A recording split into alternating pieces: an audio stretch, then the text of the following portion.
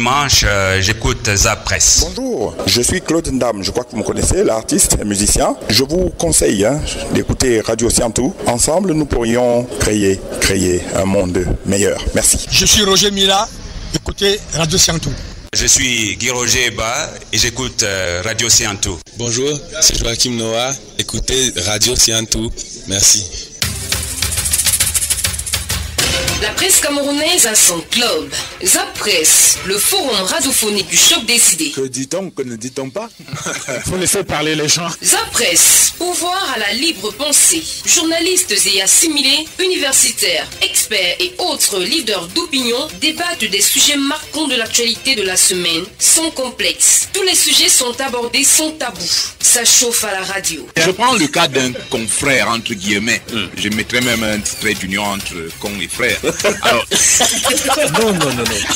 Dimanche à 10h et lundi, pouvoir à la libre expression avec Zap Presse, votre espace hebdomadaire de participation à la gestion de la chose publique. Zap Presse sur RTS.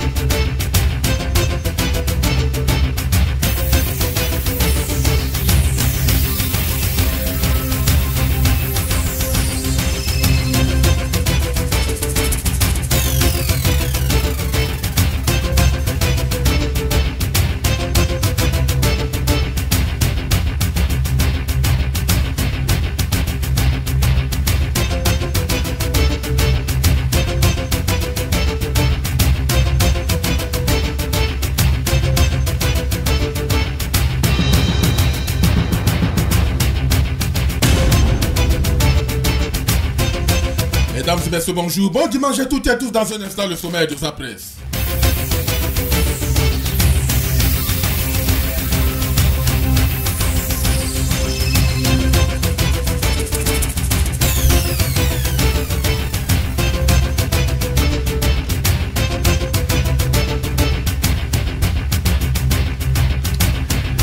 Expropriation de Ticolor, le gouverneur de la région du littoral demande l'arrêt des travaux sur le site. Samuel Dieudonné Ivara Tibois a présidé hier une réunion de crise dont l'objet principal était lié à la prise de décision visant à tempérer les, tensions des populations expropriées de Tikolo à Bali. Les familles déguerpies, les élus locaux, les chefs traditionnels et les médias ont pris part à cette réunion à Bonanjo. Le patron de la région du littoral a d'entrée de jeu partagé les peines des populations déguerpies et rassure ces dernières qu'une solution sera trouvée à leur situation. Tout en comprenant la colère des populations, le gouverneur de la région du littoral invite les habitants expropriés à s'abstenir de tenir des propos haineux et acrimonieux à l'endroit des autres communautés. Tour à tour, le préfet du département du Vouri, le représentant des victimes, le porte-parole des chefs traditionnels et celui des victimes sont intervenus pour réitérer la nécessité de trouver une solution consensuelle à cette crise sociale naissante. Après avoir écouté religieusement toutes les forces en présence, Samuel Dieudonné, Dibois a ordonné l'arrêt immédiat des travaux sur le site de Ticolo. Une commission ad hoc spéciale inclusive a été mise en place pour mener des études et des enquêtes sur le site afin qu'au cas par cas, les doléances et les préjudices subis par les populations déguerpies soient réparés. La commission a un mois de travail pour rendre son rapport. Si alors que les cas conséquents des logements sur le site de Ticolor pour la construction d'un édifice ont créé les mois et le courroux au sein de la communauté péloise sans laisser indifférent le reste du monde par voie des réseaux sociaux et du gouvernement camerounais. Le 27 mai dernier, les membres de cette communauté culturelle ont organisé une marche pacifique, question d'exprimer leur ras-de-bol. Depuis le 14 mai dernier, le sujet lié aux expropriations défait la chronique à Douala. Il s'agit d'un espace cédé à la multinationale hôtelière canadienne Marriott Bonvoy International pour la construction d'un espace hôtelier. Tout est parti en effet de la construction en 2014 d'un hôtel 5 étoiles portant le label Hilton dans la capitale économique camerounaise. Projet dont le promoteur est Olivier Chinoako, président directeur général de Immigration and Business Canada. Expropriation de Dicolor. Au-delà des mesures prises par le gouverneur de la région du littoral, sommes-nous, comment sommes-nous parvenus à cet déguerpissement problématique? C'est la première thématique de sa presse. Récent séjour de Paul Biya en Europe, René Emmanuel Sadi plaque le journaliste Blaka. Suite à la diffusion de sa chronique sur l'antenne de Radio France Internationale, le 21 mai dernier, le porte-parole du gouvernement camerounais a fait une sortie publique pour recadrer le chroniqueur du RFI. Jean-Baptiste Blaka a analysé en France et le gouvernement camerounais est en colère au Cameroun. Au centre de l'action de l'un et de la réaction de l'autre se trouvent les vraies raisons du court séjour privé effectué par le président de la République en Suisse du 14 au 19 mai dernier. S'inspirant de la presse suisse, pays ayant hébergé le chef de l'État durant ce voyage, Jean-Baptiste Blaka a parlé de la santé de Paul Biya, âgé de 89 ans, donc presque 40 déjà au pouvoir, constituant la raison, dit-il, de son départ de Yaoundé, à six jours de la célébration du cinquantenaire de la fête nationale.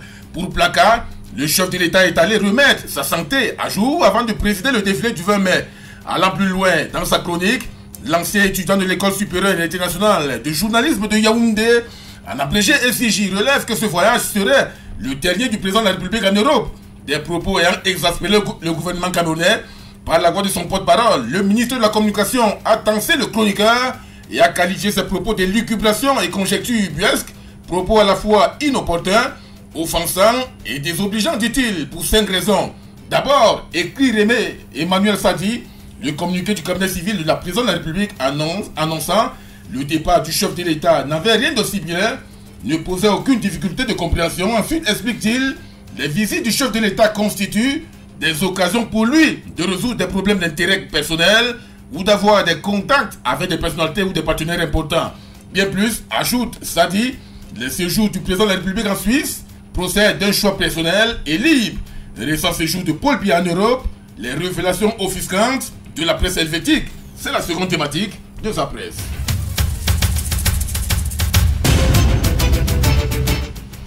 Invité au débat pour en parler, Joseph Olinga, journaliste au quotidien Le Messager et à Panorama Papers. Thierry Djoussi, journaliste à Info Matin et président de l'association des journalistes pour l'agriculture et le développement.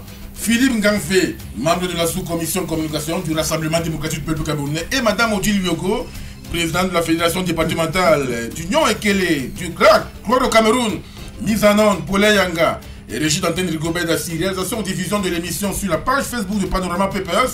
En espérant, en espérant qu'il va nous retrouver dans quelques minutes. Billy Sonia Tedjou, je suis Serge Aimé Bikoy, aux commandes de ce programme. Je suis Ba, tous les dimanches, euh, j'écoute Zap Presse. Bonjour, je suis Claude Ndam, je crois que vous me connaissez, l'artiste, musicien. Je vous conseille... Je suis Guy Ba, tous les dimanches, euh, j'écoute Zap Presse. Bonjour, je suis Claude Ndam, je crois que vous me connaissez, l'artiste, musicien. Je vous conseille hein, d'écouter Radio Siantou. Ensemble, nous pourrions créer, créer un monde meilleur. Merci. Je suis Roger Mila, écoutez Radio Siantou.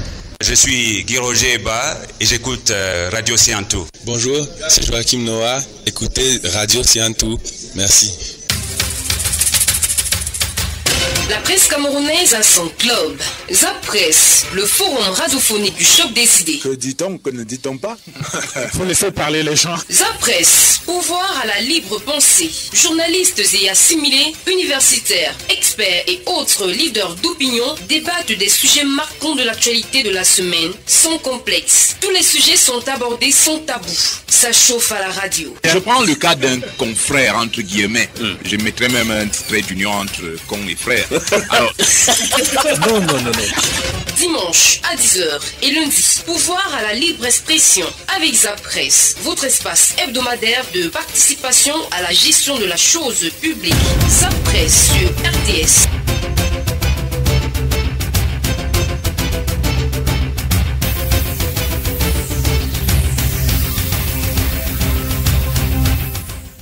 Honneur aux dames, ce jour, c'est la fête des mères. Nous sommes le dimanche. Nous sommes. Nous sommes le dimanche 29 mai 2021. 2022, allez-je dire. Honneur aux dames. Nous saluons euh, la dame qui est présente avec nous, euh, Madame Hugo, bonjour. Bonjour euh, Serge Aimé et puis merci et je profite aussi pour dire bonne fête à toutes les mamans qui m'écoutent, les mères comme moi. Donc aujourd'hui nous célébrons les mères mais nous célébrons toutes celles qui, sans avoir mis au monde un enfant, a adopté ou a encadré un enfant pour qu'il devienne quelqu'un dans la vie. Donc bonne fête à toutes les mamans de la terre même. D'accord. Et nous avons reçu justement plusieurs messages ce matin des différentes dames. Et le message qui nous a marqué ce matin, c'est euh, euh, celui que euh, nous relevons d'ores et déjà. À savoir qu'aujourd'hui, vous êtes la chose la plus merveilleuse qui puisse exister sur cette terre. Mesdames, honneur à vous. Vous avez tout dit, vous avez tout dit, mais si simplement on tenait compte de la place de la femme, de la mère dans notre société, on ne serait pas en train de vivre tout ce qu'on est, on vit comme dérive. Est-ce que la mère aujourd'hui, est-ce que la maman a la véritable place? Parce que quand on entend que nous sommes déjà dans une société où les enfants battent les mamans, où les enfants poignardent les mamans, où les enfants violent les mamans et les grands-mères, on se demande où est-ce qu'on est en train d'aller. Donc une journée comme celle-ci devrait quand même nous apporter certaines réflexions. Et quand on n'a même pas grand-chose ou quand on n'a rien à donner à sa maman ou à celle qui vous a considéré comme fils ou comme fille, dites-lui simplement, maman, je t'aime aujourd'hui. C'est très important. D'accord, c'est entendu. Joseph Oliga, bonjour. Bonjour Serge, bonjour, à- bonjour au panel, et évidemment bonjour à tous qui nous écoutent en ce moment. Hier, nous avons euh, euh, accompagné euh, un de nos confrères à sa dernière demeure, euh, Armand Bianda, euh, le directeur de publication du matin et le soir, euh, que nous avons tous conduit à la dernière demeure. Quel souvenir vous laisse ce, ce journaliste? Ben, Peut-être qu'il faut ajouter que euh, c'était c'était un double accompagnement parce que de l'autre côté, il En effet. fallait, euh, il fallait accompagner euh, notre confrère Vincent de Paula Tangana. Vincent de Paula Tangana. C'était une journée particulièrement triste pour la, pour la, la presse hier. Et euh, euh, c'est vrai, je n'ai pas, je n'ai pas l'habitude des, des, des évocations euh, post-mortem. Euh, il faut dire que c'est à la fleur de l'âge. C'est à la fleur de l'âge pratiquement que tous les deux euh, vont. euh, et ça, c'est, nous, nous célébrons la journée euh, des mamans. Nous imaginons que leurs mamans sont affligées aujourd'hui, qui attendaient peut-être qu'on leur dise, que ce soit, que soit Armand, que ce soit Vincent de Paul, qu'ils viennent dire à leur maman, maman je t'aime, elles n'auront pas ces privilèges-là aujourd'hui. Nous-mêmes dans la c'est c'est difficile en fait, il n'y a pas de mots pour le dire. Euh, je vais juste, une fois de plus, peut-être inviter euh, ceux qui nous écoutent aujourd'hui à, à avoir une pensée pure, une pensée pieuse pour euh, et puis pour, euh, pour, pour, pour notre, pour notre confrère à Tangana. Ça a été très difficile ce week-end. D'accord. Week-end. C'est des gens que vous connaissez bien, c'est des gens avec lesquels vous vous êtes au quotidien. Il est difficile d'en parler comme ça. Tout à Ce pas des inconnus, je ne parle pas d'inconnus, c'est des gens que je connais particulièrement, donc c'est difficile d'en parler comme ça. Exact. Et, week-end noir pour la presse camerounaise. Et Vincent de Poulatanana, qui a été lui également conduit à, la dernière, à sa dernière demeure à CAC. Et Armand Bianda, hier à Ngona, à Nkwabang. Thierry Djoussi, bonjour. Bonjour Serge et Bicole et bonjour aux auditeurs de la presse et bonjour à la grande famille de la RTS. Ce qui nous a davantage marqué c'est euh, euh, la présence euh, de bien de traiteurs de publication, des patrons de presse qui ont exprimé leur solidarité et leur affectivité à l'égard de la famille en accompagnant à sa dernière demeure Armand Bianda. Est-ce qu'aujourd'hui, cet acte de solidarité ne devrait pas davantage se généraliser de manière que nous restions tous soudés dans la presse camerounaise Le devoir, le devoir, le devoir. S'il y a trois choses à retenir, c'est ces trois choses-là. La première chose, comme je l'ai dit, c'est le devoir. La deuxième chose, comme je viens de le dire, c'est le devoir. Et la troisième chose, comme je suis en train de le dire, c'est le devoir. Nous, les vivants, nous avons un devoir vis-à-vis de ceux avec qui nous avons vécu et qui ont été appelés par Dieu. Notre devoir, c'est de les accompagner à leur dernière demeure, la demeure qui est désormais la leur. Et hier, la presse camerounaise, dans la quasi-totalité, s'est rendue à Ngona. Bon, je dois rappeler aux auditeurs que Ngona, selon mes informations, c'est à Yaoundé 5. Oui. Mais pour y arriver, lorsqu'on vient de Kouaban, c'est terrible. L'état de la voirie est déplorable. Et je dois également rappeler aux auditeurs que Ngona est un bassin formidable de production agricole. J'ai vu quelques plantations, mais en l'absence de voies d'évacuation, que sont les routes Est-ce que l'agriculture d'Ongona est une euh, des terres propices aura une chance d'émerger là-bas? Je dois également dire qu'Angona, puisque je suis allé, je suis journaliste dans l'âme, je me suis baladé un peu dans le village et c'est ce qui m'a marqué, c'est l'extrême pauvreté Oui. des populations là-bas. Quand il n'y a pas déjà de route et quand les- ces populations-là vivent essentiellement de l'agriculture. Voilà donc ce qui explique cette pauvreté de ces populations-là. Donc je voudrais profiter de cette tribune des Apresse qui est une émission très suivie pour demander aux autorités d'améliorer les voies d'accès et de sortie d'Angona. Il faut améliorer l'état de la voirie Angona. C'est pour le bien des populations là-bas et c'est également pour le bien de la ville de Yaoundé dans son ensemble parce que les productions qui sortent d'Angona peuvent alimenter les grands marchés de Yaoundé et contribuer à lutter contre la vie chère.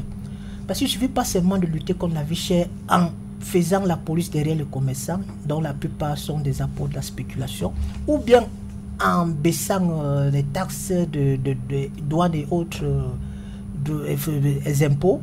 Il faudrait également lutter contre la vie chère en butumant les bassins de production, en les désenclavant même totalement, que ces bassins de production soient reliés aux marchés locaux. Ça permettra d'approvisionner les marchés et on sait tous que ces lois de marché sont gouvernées par l'offre et la demande. Plus l'offre est importante et plus le prix chute. Donc c'est mon plaidoyer pour Ngona.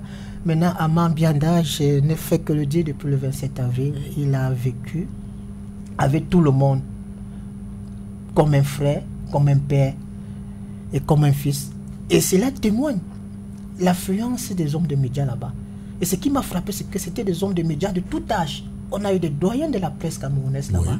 Je pense ici à Dieudonné Nvan, Exact. qui est le doyen de la presse camerounaise. Je le dis, il est là depuis longtemps. Il s'est déplacé pour venir accompagner ce jeune directeur de publication. J'ai également vu des, des, des journalistes euh, qu'on peut dire qui sont de la juge.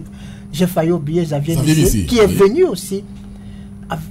Donc c'est pour dire que Amman Bianda était en symbiose avec les doyens. Et je comprends pourquoi ce jeune directeur de publication est allé loin. Parce qu'il marchait avec les doyens, il écoutait les conseils des doyens. Et bien évidemment, euh, Amman Bianda était aussi très en bon thème avec euh, les, les moins jeunes ou ceux de son âge. On a vu là-bas des directeurs de publication. euh, je sais, je me Bicol, vous y étiez. Oui. Je crois que vous êtes de la tranche d'âge d'Amman Bianda. Il y a eu des directeurs de publication, intégration. Il y était également euh, les jeunes d'épée. Et, euh, Samuel Bondior, et- etc. étaient là. Bref, c'était un journaliste Joseph qui, qui faisait quasiment l'unanimité dans la profession et vraiment sur le plan symbolique. Le, le décès d'Amman Bianda, c'est une perte énorme pour le journalisme camerounais. Parce que j'ai côtoyé ce directeur de publication. Et je peux témoigner ici, sans encourir le risque d'être contredit. Amman Bianda ne regardait pas l'information comme un commerce, comme une marchandise qu'il fallait vendre. Amman Bianda était un professionnel. Il ouvrait les colonnes de son journal à toutes les opinions, toutes les expressions pouvaient s'y exprimer. Et bien évidemment, euh, il ne monnayait pas, comme on le voit très souvent, les unes de, ce- de ces journaux. Quand ce que vous aviez à dire lui semblait pertinent, lui semblait juste, il publiait.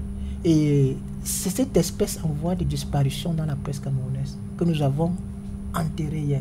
Et j'espère que les autres journalistes vont prendre l'exemple euh, ben, de, d'Amman Bianda. Parce qu'à ma connaissance, très peu de journalistes décédés ont eu un hommage aussi unanime de l'ensemble de la profession. Donc il y a des, comme on dit dans la presse, des francs-tireurs. Oui. D'ailleurs, ça se voit sur les titres. Vraiment que ces journalistes euh, aujourd'hui puissent se remettre en cause. Parce que comme on a vécu, c'est comme ça qu'on est inhumé. Amman Bianda a été inhumé comme il a vécu. Et je pense que chacun de nous avons le souci de l'après-nous. Demain, qu'est-ce qu'on dira de nous? Alors j'invite ces journalistes qui pensent que l'argent est la valeur de toute chose. On blanchit des criminels à col blanc. On mm, agresse ceux qui dénoncent. On essaie euh, de, traiter tout le monde euh, de noms d'oiseaux parce qu'on a reçu un peu d'argent. Je pense que ces journaux-là aujourd'hui doivent se remettre en cause et comprendre qu'on peut faire le bon travail. Et quand on fait le bon travail, si jamais on était appelé auprès de Dieu, alors, plus beau témoignage, vous imaginez devant votre famille, quand toute la, la, la corporation arrive et témoigne, vous étiez un homme excellent, vous étiez un directeur de publication in- intègre, talentueux. Voyez l'image que, ou l'honneur que Amman Bianda a fait réjaillir sa famille hier. Je crois que c'est immense.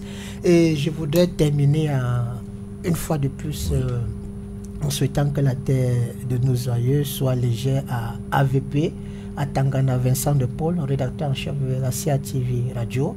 Il était de la même eau que Bianda parce que j'ai une Tous avaient le même âge, 46 J'ai- ans. Oui, je dis même le même caractère. J'ai une histoire avec AVP. J'étais allé à la CATV pour la promotion de mon ouvrage euh, Ce qu'il faut faire avant de se lancer dans l'agriculture. Oui. J'ai présenté l'ouvrage à AVP et le même jour, il m'a ouvert les antennes de la CATV. Il m'a fait passer au Sans protocole. Parce que pour lui, il estimait que cet ouvrage est essentiel. Nous sommes dans un pays agricole et un ouvrage comme celui-là, qui sert de guide aux promoteurs ou aux entrepreneurs agricoles, doit être diffusé. Et plusieurs fois, il m'a invité à la CATV pour parler de cet ouvrage. Donc, je lui ai rien donné en retour. Il ne m'a rien demandé en retour. Donc, hier, la presse camerounaise a accompagné à leur dernière demeure ceux de ses fils parmi les plus intègres, parmi les plus dignes. C'est triste que les meilleurs s'en vont les premiers, mais je pense que ceux qui restent ont un devoir de copier les meilleurs qui sont partis. C'est attendu, le conseil est donné. Bien, on commence par le premier sujet à l'ordre du jour. Euh, je commence par Joseph Olinga. Vous avez réalisé une enquête euh, sur les expropriations de Ticolo euh, dans le web média Panorama Papers.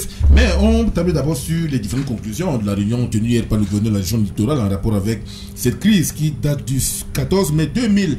22, Samuel Dudonné Iva Dibois a donc présidé hier une réunion de crise dont l'objet principal était la prise de décision visant à calmer les tensions des populations expropriées de Dikolo à Bali. Les travaux se sont déroulés dans la salle de conférence des services de la région euh, à Bonandio en présence de plusieurs élites de la région parmi lesquelles des autorités traditionnelles directement concernées par le déguerpissement, les parlementaires et les euh, représentants de l'administration.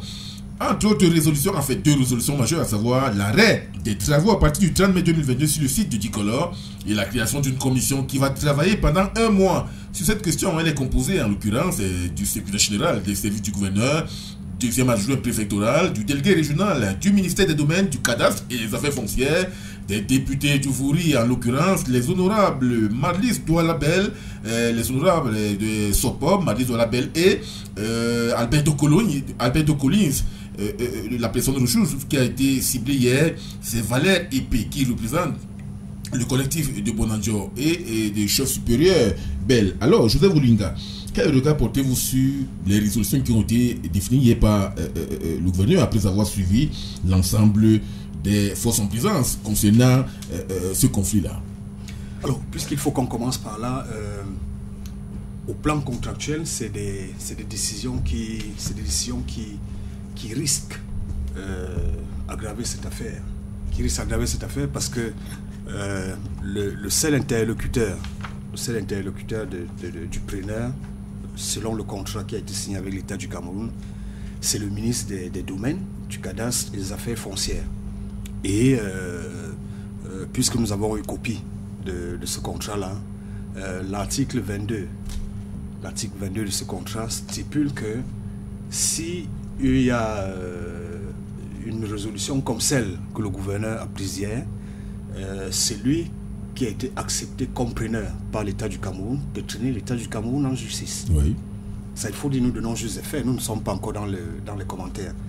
Donc, traîner euh, le Cameroun en justice, ça veut dire que euh, le Cameroun devra rembourser tout ce qu'il a dépensé. Et tout ce qu'il a dépensé dans, dans cette affaire, euh, en l'occurrence, j'ai dit, nous sommes encore dans les faits.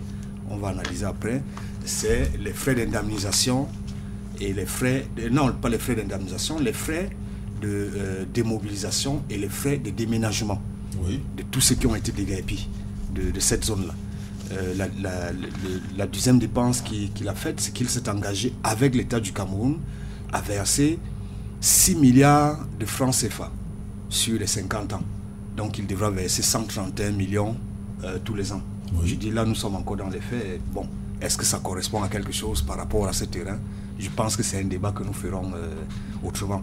La question qui m'a été posée de savoir comment on apprécie cette mesure. La conséquence de cette mesure, c'est que euh, au plan juridique, le gouverneur de la région du littoral n'est pas fondé pour intervenir dans ce, dans ce contrat.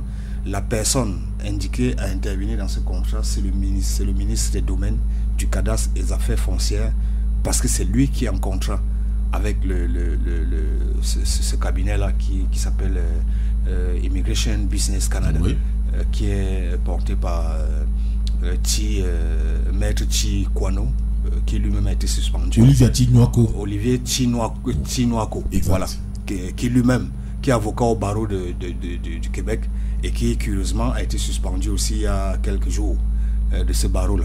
Donc ça, c'est une autre affaire. Oui. Alors, euh, Madame Odiliogo, en tant que femme politique, euh, euh, euh, l'affaire des expropriations, aujourd'hui, a problème à cause des indemnisations qui n'ont pas été faites. Le premier regard que vous, en tant que femme politique, que vous portez sur ce problème qui remonte au 14 mai dernier, c'est lequel?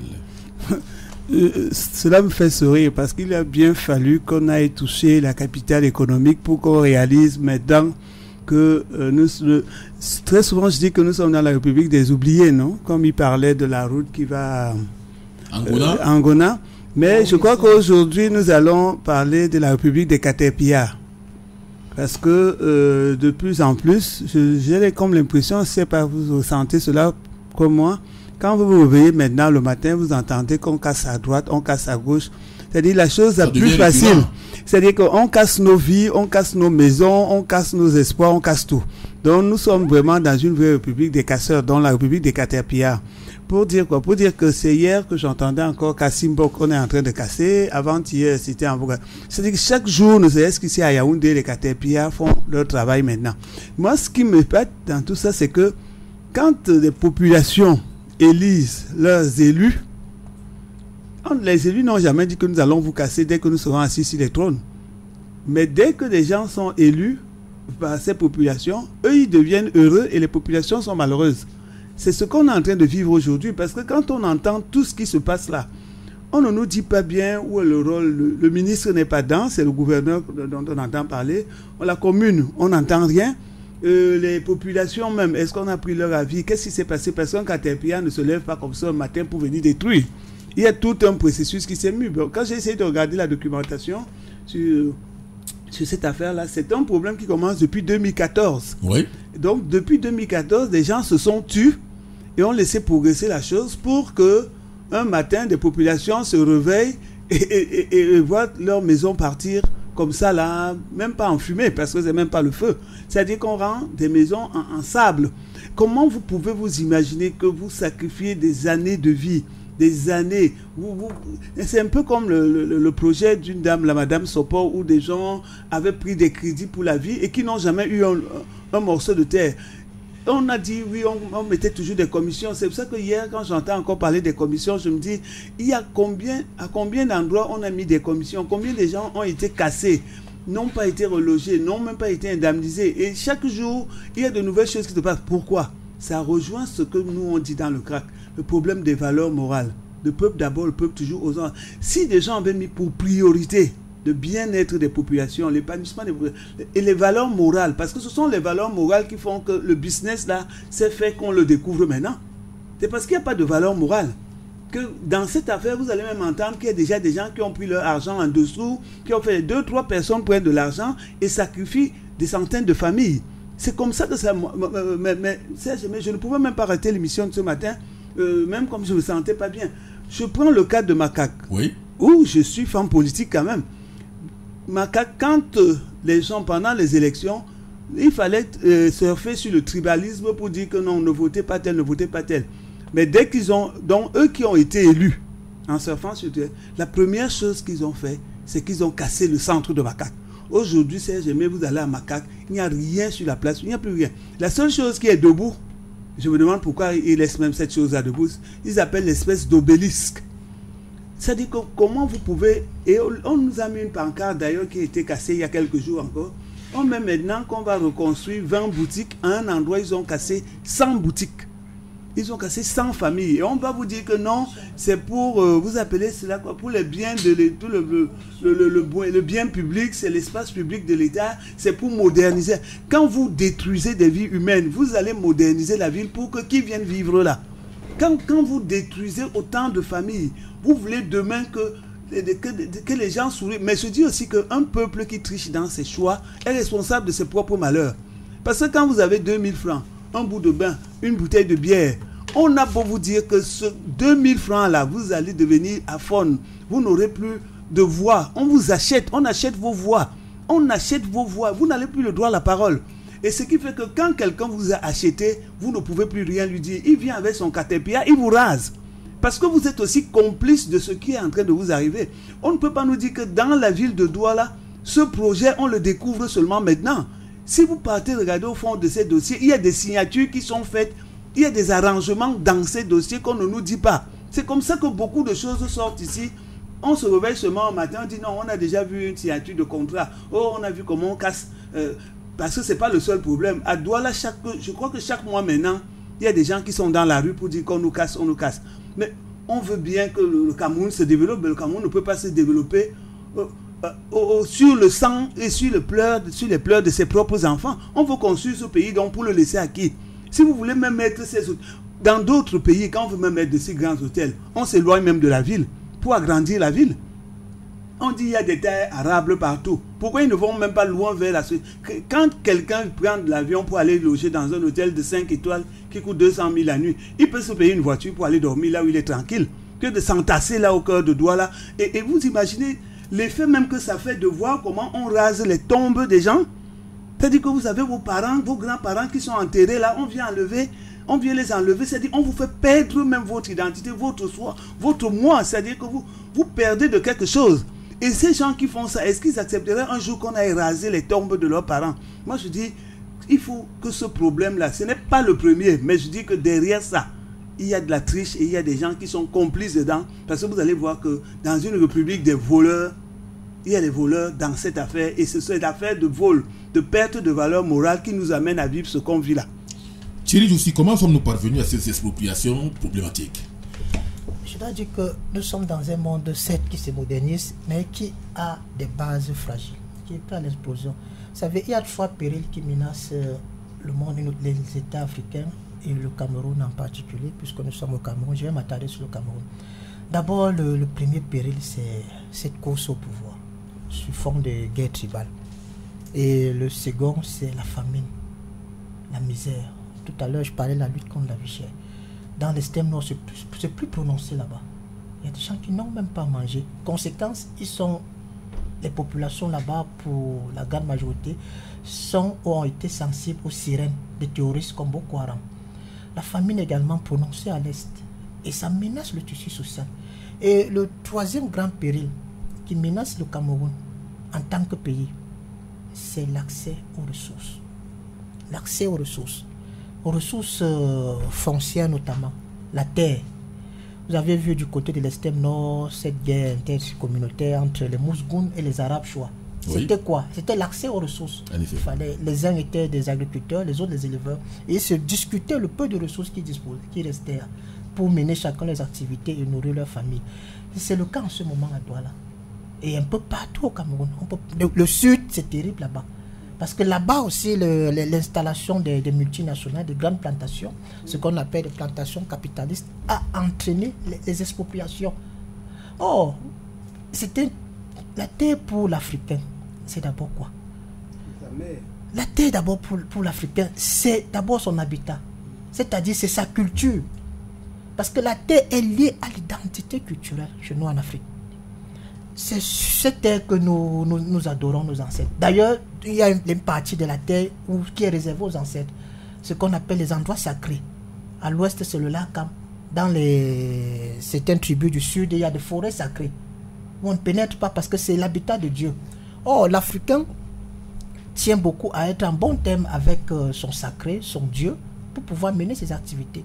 Or, quand on vient, on débarrasse tout ça. C'est-à-dire, on déracine toute une population. On trouble son système de vie. Pour certaines populations, c'est centenaire. L'adoration de, de, certains lieux sacrés, c'est centenaire. Donc, c'est une chose qu'on voyait à l'époque du colon. Parce que le colon n'avait aucun égard pour nos valeurs culturelles. Ce qui comptait pour le colon, c'est d'exploiter la terre. S'il pouvait remplacer les forêts sacrées par une plantation de, coton, il ne se privait pas. Ou bien s'il pouvait remplacer un endroit sacré par des, plantations de cacao, café, il ne se privait pas. C'était plus prononcé. Et on a eu dans l'histoire du Cameroun des compatriotes qui se sont élevés contre cela. Je pense ici à Douala Mangaben. Nous sommes dans les années 1900. Ils sont élevés contre ces expropriations qui déracinaient tout un peu.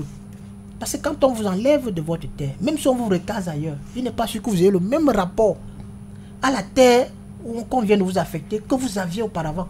Parce que dans, On dit même le Cameroun, terre de nos ancêtres. Exact. parce que dans- pour, pour beaucoup de personnes aussi, nous, nous enterrons nos proches où? Sur nos terres. Or, quand on nous exproprie, on nous recase ailleurs, est-ce qu'on nous amène aussi les, les, les- les tombeaux de nos héros, de nos ancêtres, pardon? Donc, c'est ce dilemme-là que l'État du Cameroun, je veux dire, le gouvernement du Cameroun n'arrive pas à résoudre. Or, ce qu'on observe, et c'est dommageable, c'est que le gouvernement camerounais se comporte comme l'Allemand, ou le colon allemand à l'époque. Le gouvernement camerounais se comporte comme le colon français à l'époque. Exactement, les expropriations sans égard pour la culture. Quand on a dit qu'on va remplacer les- qu'on va mettre un hôtel là où des populations ont leur génie, leur génie, leurs ancêtres, leur culture, est-ce que sur le plan africain ça a un sens? Ça n'a pas du tout un sens. Sur le plan culturel africain. Donc c'est terrible euh, ce qui se passe à Dikolo. C'est- Il y a plus de médiatisation là-dessus. Mais dans le sud, dans les régions comme Campognété, il y a eu ce phénomène-là, où des populations, des locaux, les Badieli, ont été expulsés des forêts d'où ils tiraient les- l'existence de leur vie, parce que la forêt nourrit aussi, et où également ils observaient le culte de leurs ancêtres. Donc, il faut déjà qu'on comprenne que la terre, pour l'homme africain, pour le Camerounais en général, ce n'est pas un bien marchand. Et le gouvernement ne doit pas offrir les espaces fonciers. Je vais tout à l'heure parler de la législation. Parce que Oui. sur le plan du droit, le gouvernement est tout fondé à vous exproprier pour cause d'utilité publique. Mais nous sommes en Afrique. Et en Afrique, si, nous, si ceux qui nous gouvernent sont vraiment des Camerounais, ils doivent comprendre qu'il y a également une culture. Je ne suis pas sûr que c'est que ceux-là ont fait là-bas. Vous avez parlé d'un ministre. Oui. Il peut le faire dans sa, dans sa région d'origine ou dans son département d'origine. Je ne suis pas certain. Donc, je ne voudrais pas soulever ce type de, de débat ici, mais je pense que quand les peuples sont attachés à une terre, il faudrait qu'on puisse trouver le juste milieu entre la préservation de l'héritage culturel des populations autochtones et les impératifs du développement, qui passent bien évidemment par la construction des entreprises qui sont génératrices d'emplois et de lutte contre le chômage. Et c'est ce qui manque généralement au gouvernement. Donc de trouver le juste milieu. Jusqu'où peuvent aller les expropriations? Quelles sont, quelles sont, quelles terres on peut, on peut enlever aux populations? Et quelles autres il est impérativement interdit d'enlever aux populations? Si vous allez dans la région de l'Ouest, dans des zones où on appelle le LACAM, où les chefs traditionnels sont intronisés et sont formés à gouverner le peuple. Si vous allez là-bas, même si vous vous demandez que vous allez construire une usine de transformation qui va employer tout le village, je vous assure que ce projet ne rencontrera pas l'assentiment des populations. Même si vous allez mettre un projet là-bas qui va employer tous les chômeurs de- du village. Pas du tout. Parce que pour l'homme africain, pour le Camerounais, sa culture d'abord, la, vénération des ancêtres aussi. Donc l'État, le gouvernement camerounais doit rectifier le tir. D'accord. Ce ne sont pas toutes les terres qui doivent faire l'objet d'expropriation. Il faut savoir dis- dis- discriminer. Alors, Joseph Ouling, après avoir réalisé l'enquête sur euh, euh, euh, les expropriations du sud de Ticolo, quelles sont les responsabilités à établir lorsque vous jetez un regard historique sur l'enclenchement de, ce, euh, de ces tensions-là Alors, ça pourrait, vous, ça pourrait vous surprendre, mais tout le monde est responsable. Tout le monde est responsable dans cette affaire parce que, euh, au plan médiatique, il y a une certaine surenchère euh, que les populations euh, riveraines font à cet endroit-là. Il y a des autorités traditionnelles qui font aussi assez de surenchère. Pourtant, lorsque vous allez au fond de cette affaire, vous vous rendez compte que en réalité, les gens, les gens ont, l'impression que les gens veulent, tromper le reste de la population. Tout le monde est responsable. Pourquoi? Parce que l'État en premier. L'État en premier parce qu'il est hors de question aujourd'hui qu'on dise qu'on n'a pas pu clairement identifier euh, les, ayants droit. Ça, tombe sur le sens.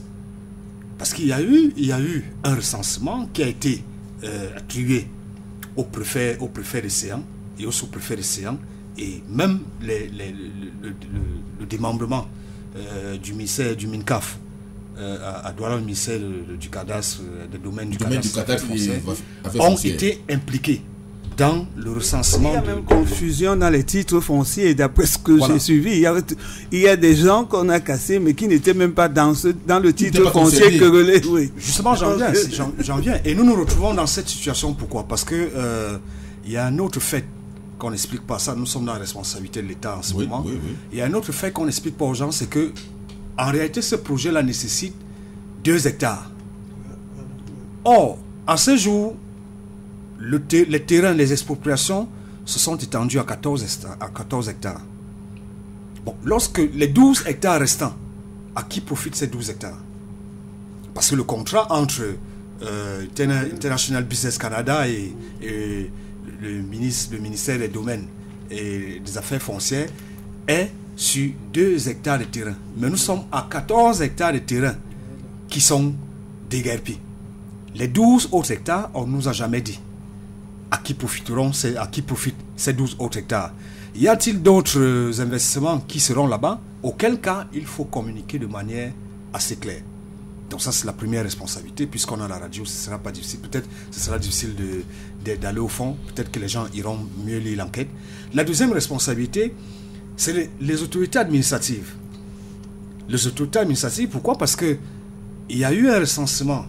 Le préfet de Séan, le sous-préfet de Séan ont transmis au gouvernement ou à l'État central une liste de personnes qui étaient censées être dédommagées. Parce qu'il faut aussi expliquer aux gens que lorsqu'on parle d'argent dans cette affaire de Dicolo, l'État devait donner euh, l'équivalent de 12 mois de loyer à chaque personne qui est déguerpie à Dicolo. Et pendant, tandis que le preneur, lui, se chargeait des frais de déménagement et des frais de démobilisation.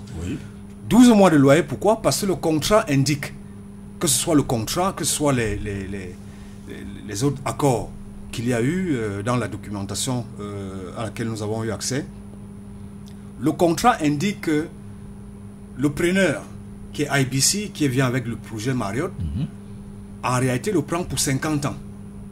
On lui cède cette terre pour 50 ans et ça correspond à peu près à 6 milliards et demi de francs CFA sur les 50 ans qu'ils doivent reverser à l'État du Cameroun. Parce que c'est 30 131 millions et c'est pas 250 millions, un truc comme ça, qu'ils doivent verser à l'État du Cameroun chaque année. Au plus tard le 5 janvier de chaque année. Donc, quand on a fini, quand, ils ont, quand le, le- le- le- le préfet, le sous-préfet de Séan. Ont transmis ces, ces- ces- euh, les noms de ces personnes-là, avec leur identification, comment ces mêmes autorités peuvent expliquer aux gens aujourd'hui que ils ont recensé même des gens qui étaient détenteurs de titres fonciers? Comment cela s'explique?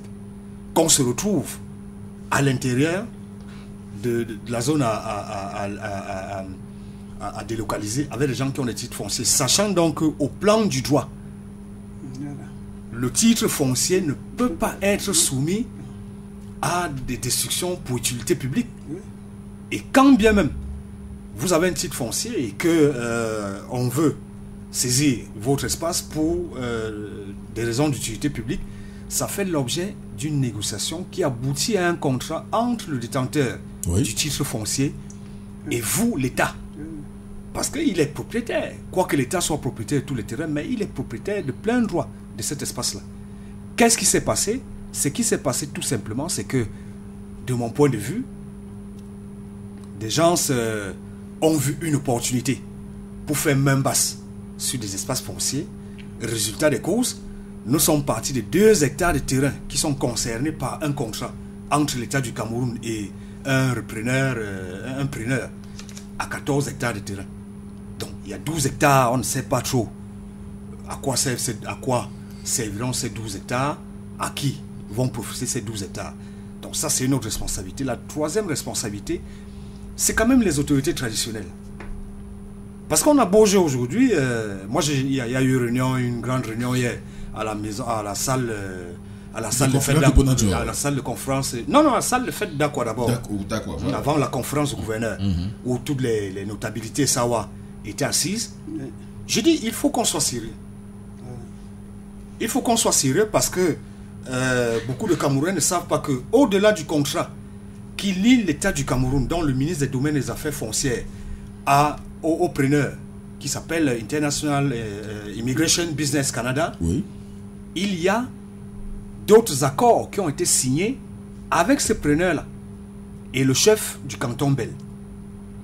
Quels sont ces accords concrètement? Justement, dans ces accords, l'une des principales préoccupations, c'était que euh, allaient s'asseoir ensemble pour distribuer. Ils se mettaient d'abord d'accord sur les montants qu'on devait verser à chaque personne.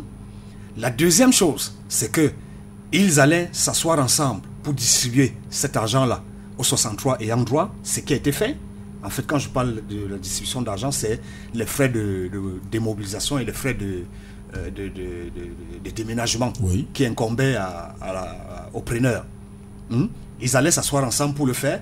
La troisième résolution qu'on ne dit pas aux gens, que le, le- le chef euh, du canton Ben ne dit pas aux gens, c'est qu'ils se sont mis d'accord avec le preneur que puisque l'État devait verser 12, l'équivalent de 12 mois de loyer à chacun des, à chacune des personnes expropriées, à chacune des 63 personnes expropriées, lui, le preneur, s'engageait devant le canton Bell à trouver un espace de 5 hectares sur les 12 mois à venir. Il a 12 mois pour le faire. Il a un an pour donner à ces gens-là qui, sont qui seront en location pendant 12 mois. Parce que l'État leur verse cet argent.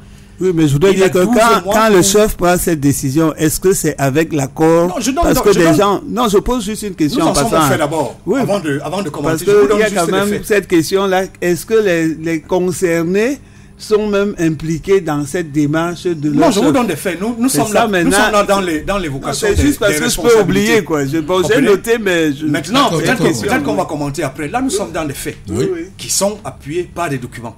C'est-à-dire que je mets, je mets quiconque au défi de, de remettre en cause ce que je suis en train de dire.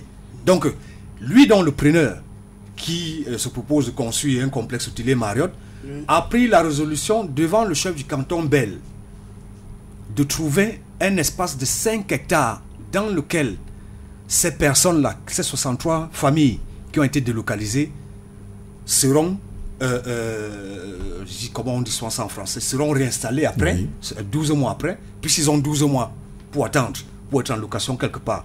Ça, est-ce que le chef du canton Bell l'a dit à ses populations? Et comme la dame le dit, est-ce que lorsqu'il est venu signer cet accord-là, est-ce qu'il a pris le pouls auprès de ses populations? Ça, on n'en sait rien, mais il y a une évidence, c'est que ce document existe et il a signé cet accord-là de manière directe avec le preneur qui s'appelle Immigration Business euh, Canada. Ça rejoint ce qu'on dit que dans la corruption, il ne peut pas avoir de corrupteur s'il n'y a pas de pas- corrompu. Bon, appelons ça. Bon, moi, je n'en suis pas encore commentaire. Oui. Le- La, la- la- la- la- la- la dernière responsabilité, peut-être, c'est euh, ces personnes expropriées qui sont dans les rues. Parce que c'est- nous, nous sommes. euh, Il y a des gens qui, qui nous font souvent le reproche euh, et disent bon, vous êtes journaliste, vous devez, vous devez défendre les gens qui ont été expropriés. Non. Nous n'avons qu'un seul devoir, c'est celui de mettre la vérité à la disposition des gens. Serge, il y a des documents qui attestent que le 29 avril, le 29 avril 2022, ces 63 personnes ont touché l'argent. Le C'est 29 lui- avril 2022. Le 29 avril 2022, il y a des décharges. Les 63 personnes qui ont été identifiées ont touché de l'argent qui correspond à la location, comme je l'ai dit, qui correspond à un an de location et à la démobilisation et puis au, au déménagement. L'État s'occupant des 12 mois, de l'équivalent de 12 mois de location, le preneur s'occupant des frais de démobilisation et des frais de déménagement.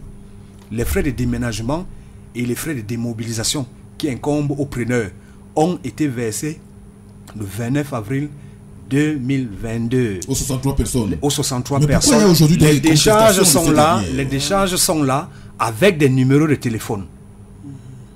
À qui, quiconque doute, je peux, je ne défends personne, hein, puisque, puisque le preneur a sa part de, de responsabilité dans cette affaire. Bon, maintenant, la, de- la dernière part de responsabilité, c'est effectivement ce preneur qui lui-même est un peu flou. Parce que la dame l'a dit tout à l'heure, et c'était bien de le dire, cette histoire commence en 2014. Oui. Où le même, le même, le, le même que notre compatriote euh, Chinwako, Olivier Chinwako, qui, qui est le, le président directeur général de Immigration Business Canada, qui se propose de construire le thème, euh, le complexe hôtelier Marriott à Douala aujourd'hui. Le même est venu en 2014 à la communauté urbaine de Douala. C'est Fritz Tonnet Tonnet qui était le délégué du gouvernement. On, on devait lui siéger, on devait lui, céder deux hectares dans la zone, euh, euh, dans la zone de, de l'ancienne gare routière de Douala. Pour ceux qui ont lu un peu les cartes antérieures, dans la zone de l'an- l'ancienne gare routière de Douala, il était question, il disait qu'il venait construire un complexe hôtelier Hilton. Et qu'il représentait le groupe Hilton. C'est ce qu'il a dit. Oui. En 2014. Bon, et puis, euh, je ne sais pas trop euh, ce qui s'est passé. En tout cas, euh, la zone, visiblement, le, nouveau, le, le plan directeur de la ville de, de Douala, à cette époque-là, indiquait que on ne pouvait pas retrouver trois hôtels, trois complexes hôteliers au même endroit. Or, cet endroit-là correspond à peu près, à ceux qui connaissent Douala, cet endroit correspond à peu près à la zone où, où il y a le Djega Hotel.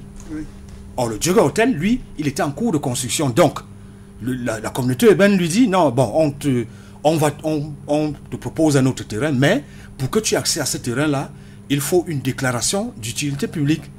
Du coup, ce n'est plus un contrat qui engage la communauté urbaine en tant qu'entité, c'est une affaire d'État. C'est comme ça qu'on arrive à la deuxième déclaration d'utilité publique, on se retrouve sur un autre espace. Oui.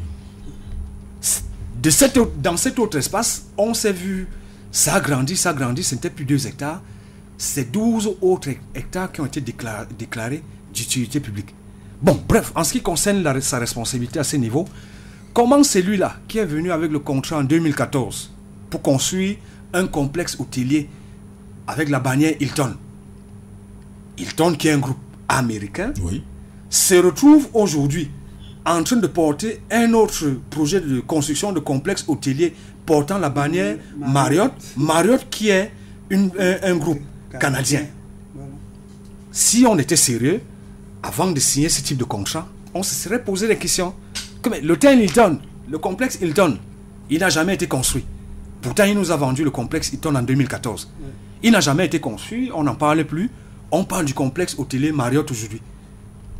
Est-ce que ceux qui signent ces contrats-là, ceux qui nous représentent, qui ont les mandats de l'État, est-ce qu'ils ne le savaient pas?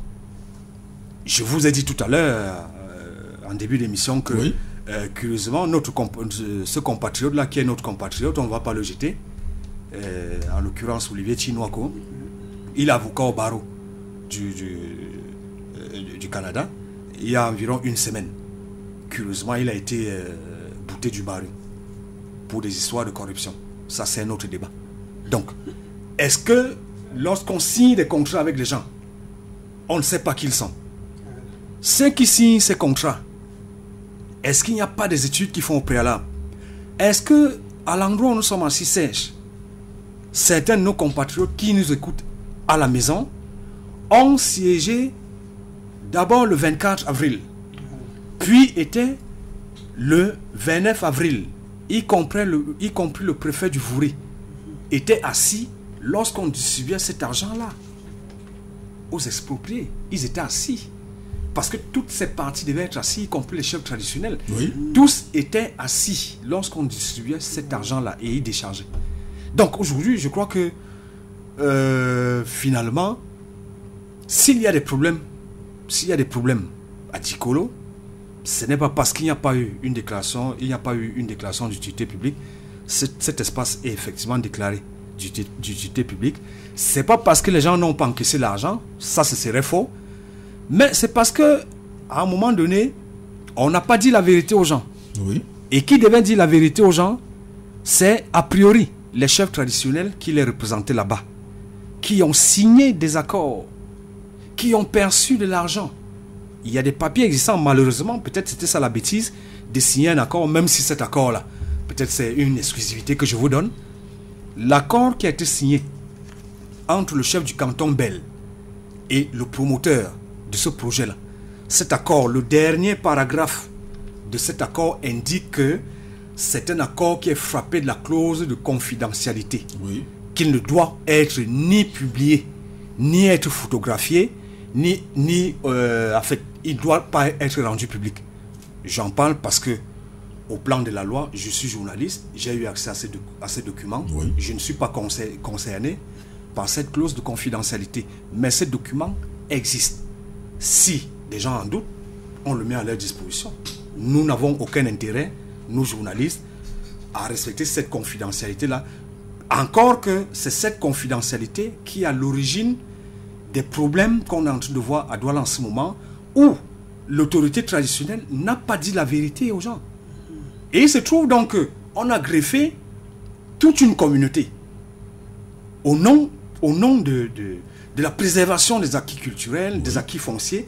On a greffé toute une, euh, toute une communauté dans une bagarre qu'elle ne comprend pas. Parce que les gens qui sortent en route, qui marchaient, qui marchaient sur, sur Douala l'autre jour, le c'est 27 pas, oui, c'est pas forcément les gens qui ont été expropriés. Au moins la moitié y était parce que, au nom de la solidarité culturelle, au nom de la solidarité euh, euh, traditionnelle, au nom de la solidarité ethnique, on va défendre euh, notre espace de Dicolo, mais seulement ceux qui En tout étaient temps, les au devant. restent en arrière-plan. Les expropriés ont perçu de l'argent. Ils sont en arrière-plan. Et les expropriés, moi, c'est même pas mon problème. C'est pas mon problème avec eux, puisqu'ils sont engagés. Mon problème, c'est ceux qui tenaient le haut du pavé. C'est ceux qui sont réunis hier à Douala, qui ont signé ces documents.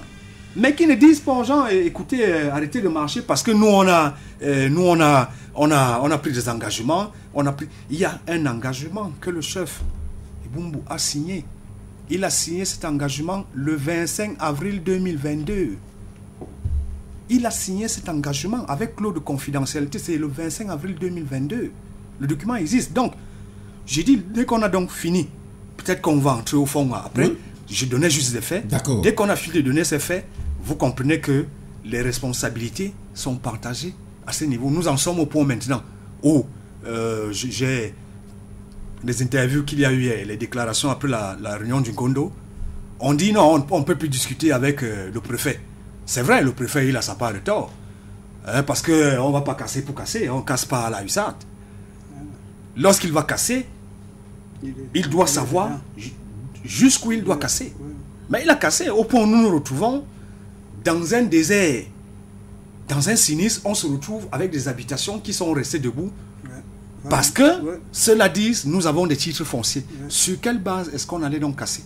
C'est vous, l'autorité administrative. Vous êtes censé avoir ce dossier au bout des doigts. D'autant plus que c'est un dossier qui date de moins de 10 ans. Oui.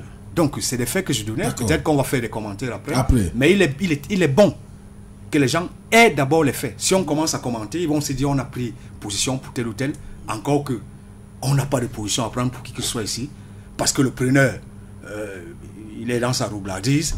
Euh, quelques autorités administratives sont dans la roublardise. On ne sait pas trop qu'est-ce qu'ils visent. C'est les terrains des 12 hectares restants ou euh, parce qu'ils ont un peu griffé dans l'argent qui a été donné pour euh, machin. Euh, les autorités traditionnelles ne disent pas la vérité. Hein, les 63 personnes qui ont encaissé l'argent euh, sont quand même en arrière-plan sur les marches qu'on voit à Douala. Et ça devient une histoire où si vous mettez, comme les enfants disent au quartier, le cœur, vous y restez.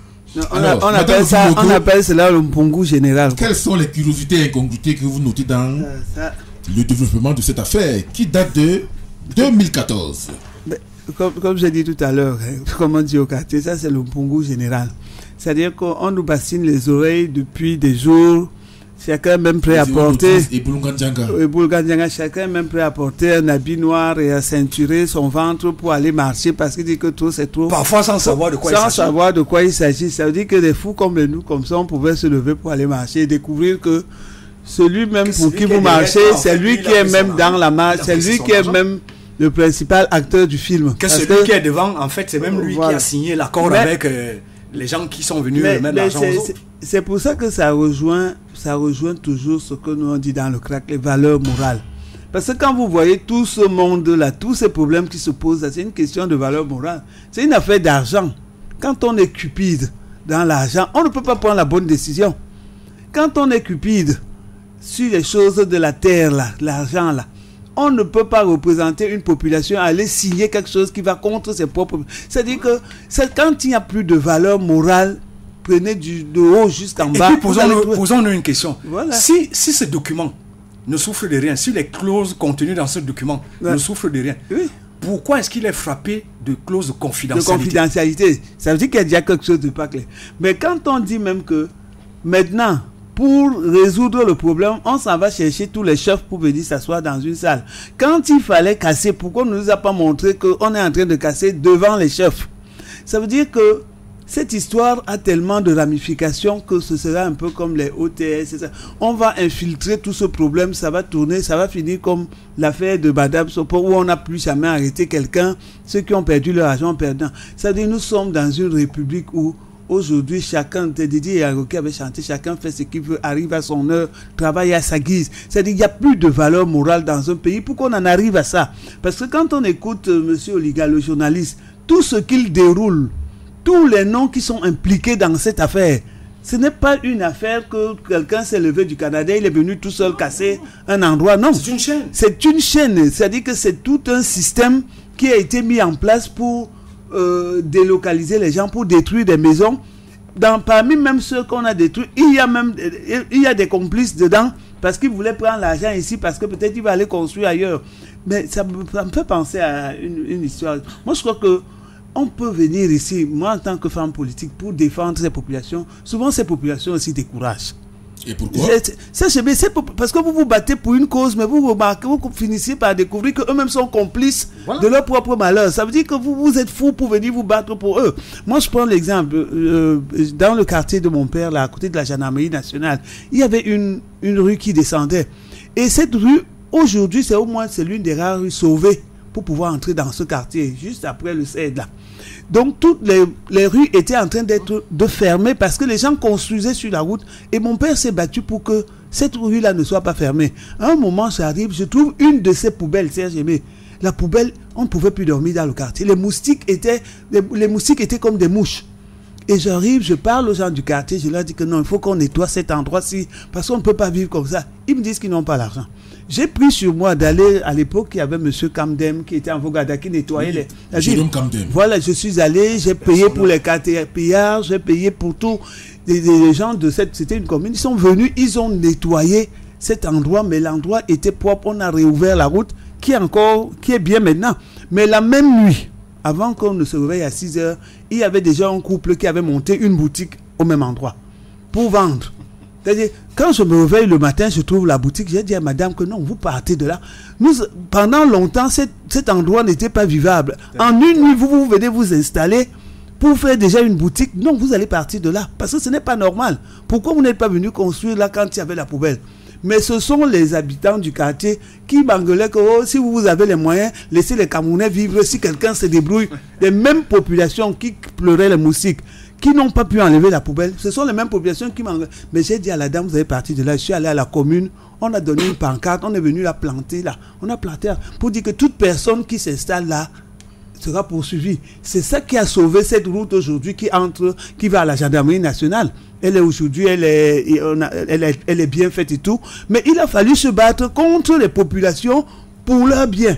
Donc c'est pour vous dire que le problème de euh, c'est le, vous allez vous battre pour des gens et découvrir après À la qu'ils sont moralité douteuse. à la moralité douteuse. Comment vous pouvez me dire que un, même un préfet, un préfet, son rôle, c'est de pro- protéger les populations. C'est de faire à ce que les populations ne sortent pas dans la rue. Parce que après vous voyez des gens disent, nous aussi, on va devenir comme le. Ça dit que l'autorité est là pour protéger les populations. Le chef de la famille, le chef traditionnel est là pour protéger les populations. C'est lui l'interlocuteur principal. principal avec l'autorité. Mais quand vous venez découvrir que dans cette affaire, il y a les chefs traditionnels qui sont censés protéger les terres de leurs ancêtres. Parce que c'est les terres de leurs ancêtres. On dit au Cameroun, berceau de nos ancêtres. Mais ce que je voulais dire, ça m'amène à se soulever le problème de cette binationalité où je ne fais qu'interpeller les Camerounais pour leur dire que si nous ne levons pas ce verrou de la double nationalité, on va d'abord nous casser correctement comme on est en train de casser à Douala. Mais sachez que dans cette loi de 1968, Oui. on dit que quand vous n'avez plus la nationalité, vous n'avez droit qu'à 1000 mètres carrés de terrain au Cameroun. Parce qu'on vous a enlevé, parce que vous n'avez plus la nationalité. Ça veut dire que vos terres là, on va les donner aux Chinois à volonté. On va donner aux étrangers à volonté parce qu'on va vous dire que vous, on ne vous donne pas la nationalité. C'est un gros problème parce qu'aujourd'hui, Do- Douala, c'est parce que c'est à Douala. Mais imaginez combien de terres, combien de villages entiers les gens ont pris pour donner aux étrangers, des étrangers à qui on donne la nationalité pour s'installer. Et les Camerounais qui sont d'origine de sang, qui sont nés sur les terres de leurs ancêtres, on leur enlève leurs terres. Donc ce problème de terre là, il faudrait qu'on revienne à cela. Parce que chez nous, les Bassa même, on dit que ta mère, c'est la terre. Chez le Bassa, sa mère, c'est la terre. Ça veut dire que tu- on ne joue pas avec la terre. La terre, c'est tout ce qu'on possède. Mais quand vous voyez aujourd'hui à quel rythme on vend les terres, c'est-à-dire qu'on on vend les terres des gens, combien de... Vous, avez vu à, à la télé combien de zones, je ne sais pas s'il y a une zone au Cameroun aujourd'hui où les populations ne se soulèvent pas pour dire que on est en train de vendre toutes nos terres aux étrangers. Mais vous voulez, là maintenant, on va dire que ce n'est pas un étranger qu'on qu'on a vendu cette terre-là. Mais si vous allez regarder ce mot-là, ce monsieur-là, ce n'est que son nom qui est dedans, qui est devant là. Il y a, il y a plein d'autres personnes. Il n'est pas seul. Ce n'est pas un individu. C'est-à-dire qu'il y a beaucoup de gens dans cette affaire. C'est-à-dire que le, le IBC là, ce n'est pas une entité. Si je le dis, je dis pourquoi. Il y a eu le problème de la route, la route entre euh, Ngoumou et, et, et Zeka. C'est-à-dire que Mazak, je, suis allé, j'ai crié, j'ai crié que aujourd'hui on n'arrive pas à relier Makak à Ezeka. Mais on vous dit c'est quelqu'un qui a eu le marché. Mais quand vous voyez même la personne qui a eu le marché, la personne n'est pas dans les travaux publics. La personne ne fait Donc ça veut dire qu'aujourd'hui, il y a tellement de prêtres. Non, vous allez peut-être aller découvrir que ce monsieur euh, qui euh, Noakola n'est qu'un prêtre non et derrière lui, il y a des gens. Parce que vous ne pouvez pas dire qu'on peut faire un projet sur 2 hectares, il revient sur 12. Et c'est ce qu'ils avaient fait à sur Kribi. 14, sur À 14 Kribi- hectares. 14 hectares, non, je veux dire qu'ils en ont ajouté 12. 12, ils en ont ajouté Et 12, effectivement. à Kribi, on a eu ce problème-là. Quand des gens ont su que l'État pouvait indemniser sur des terres, tout le monde a eu 14 titres fonciers. Et C'est-à-dire que dès qu'il y a une affaire d'argent, c'est-à-dire la cupidité d'argent dans notre pays, c'est en train de nous amener dans le gouffre. Ça nous amène dans le... Et on ne peut pas dire qu'un pays où il y a, des, voleurs, une, une république de voleurs en milliards, on vient déloger des gens qui ont leur petite maison. Mais quand nous allons même nous battre... Et qu'est-ce que ça rapporte donné- au Camerounais Ça dit que, en réalité, ça, il faut le préciser au Quand on dit même bien public, Ce est-ce que c'est cet, cet ce hôtel-là, il manque les hôtels à Douala pour seulement aller détruire à cet endroit-là. Cette terre qu'on remet à On ces ne peut personnes même pas faire des écoles, des universités, des choses. On 6 ne peut pas créer des centres de 50 ans. formation à l'endroit là. 6 milliards et demi sur 50 ans. C'est 50 C'est ans. tout l'enjeu. Et, et, et même, euh, monsieur Olinga, il 6 faut qu'on cesse un peu de 50 nous dire toujours 50 ans. Moi, je pense qu'il faut qu'une loi soit à l'Assemblée que le Cameroun doit plus signer un contrat qui dépasse 20 ans. Mais- moi, je dirais même 10. Quand vous êtes aux affaires là, deux mandats, vous signez pour votre temps là. Parce que vous vous engagez un pays pour 50 ans. Ça veut dire que vous hypothéquez la vie des enfants, petits-enfants. On ne peut pas continuer à réalité, en réalité, ce que je veux dire, c'est que euh, euh, 6 milliards et demi sur 50 ans, si on avait bâti des, euh, des logements sociaux là-bas, euh, je pense que ça aurait rapporté à l'État 5, 10 fois plus. On aura même compris utilité publique. Ça veut dire Or, que cet tout le monde en profite. à l'État. C'est vrai que l'infrastructure va rester après 50 ans. Mais si c'est après 50 ans que l'État a encaissé juste Combien 6 de Camerounais, combien de Camerounais avons sur dormi dans, dans les infrastructures là? D'accord. Et en rapport avec, euh, à- à- à- en rapport, en rapport avec cette indemnité, euh, au niveau des frais de démobilisation du logement, on retient dans les- la documentation euh, euh, relevée dans l'enquête de euh, Joseph Olinga, à cette indemnité sera attribuée à toute personne concernée. Les frais de déménagement et de démobilisation dont le montant sera déterminé forfaitairement selon les modalités. En annexe 2, ces frais sont payés en totalité dans les 48 heures de la signature des présents.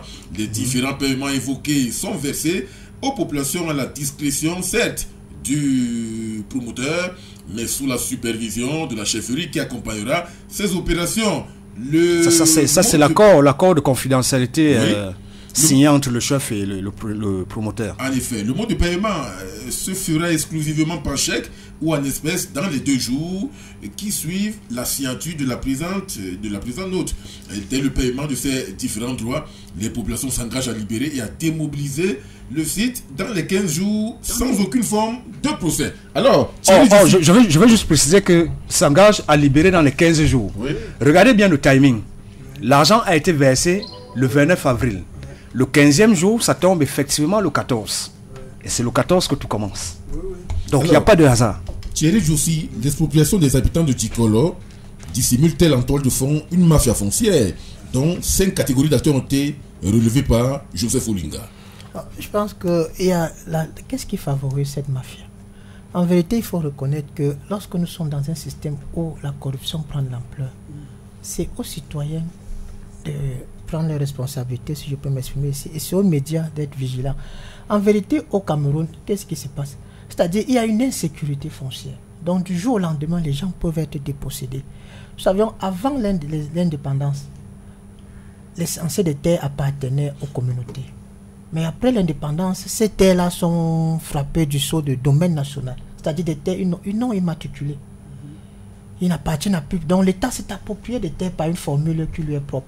Ce qui fait qu'aujourd'hui, beaucoup de, de plus en plus de, de populations et même de communautés tout entières sont dépossédées de leurs biens ancestraux. Parce que la terre, c'est un bien ancestral. On hérite de la terre. Or, d'où vient-il que le gouvernement, avec son affaire de domaine national, puisse euh, considérer que cette terre n'appartient à personne? Sur le plan même euh, africain et camerounais, c'est une incongruité. Maintenant, pour revenir sur le, le cas de, de Dicolo, je pense qu'il ne faudrait pas oublier que derrière cela, il y a bien d'autres expropriations qui se passent en Soudine. Je vous ai parlé du cas de la région du Sud, où des agro-industries s'installent et qui dépossèdent les populations avec la complicité, ça encore, Parce que la corruption est partout. Avec la complicité des localités, des autorités traditionnelles et administratives de la zone. Donc c'est pour ça que les populations doivent rester vigilantes. Parce que même ces personnes qui disent les représenter, parfois jouent un jeu. En vérité, elles ne représentent pas les, les populations. Elles sont juste là devant pour leurs intérêts personnels. Et on l'a vu également dans le sud-ouest, avant euh, la guerre actuellement, où une société, à l'époque, euh, c'est Héraclès Femmes qui devait mettre sur pied une plantation de, de palmeraie, palmier à huile, avait, avait pu obtenir près de 300 hectares. Or, les populations étaient installées là. Et elles avaient été déguerpies de la façon la plus sauvage que soit. Sans expropriation, sans indemnisation du jour au lendemain. Elles ont été chassées. Donc, il a fallu, comme c'est le cas de Ducolo, la vigilance de l'opinion publique et bien évidemment euh, toute euh, la force de la dénonciation pour que ces populations puissent être rétablies dans leurs droits. Donc, je pense ici aux populations qui sont dans le sud, dans, à l'est, dans le sud notamment, et qui ont mal à partir avec des agro-industries là-bas. Donc il faudrait que l'État travaille à renforcer la sécurité foncière au Cameroun. La terre, à qui elle appartient? À celui qui vit de- sur cette terre depuis des années, ou bien à celui qui a les moyens? Oh, de plus en plus au Cameroun, on a l'impression que la terre appartient à ceux qui ont des moyens. Vous avez des gens qui sont propriétaires de plusieurs titres fonciers. Comment ont-ils fait pour obtenir ces, ces titres fonciers? Et comment ont-ils fait pour obtenir la terre qui, qui vaut ce titre foncier? Généralement, il y a les intimidations, il y a la corruption et, et il y a également, il y a également, c'est ça que je voudrais souligner ici, c'est Jémé Bucco, il y a également l'exploitation de la misère des populations. Il y a des endroits où des populations bradent carrément leur terre.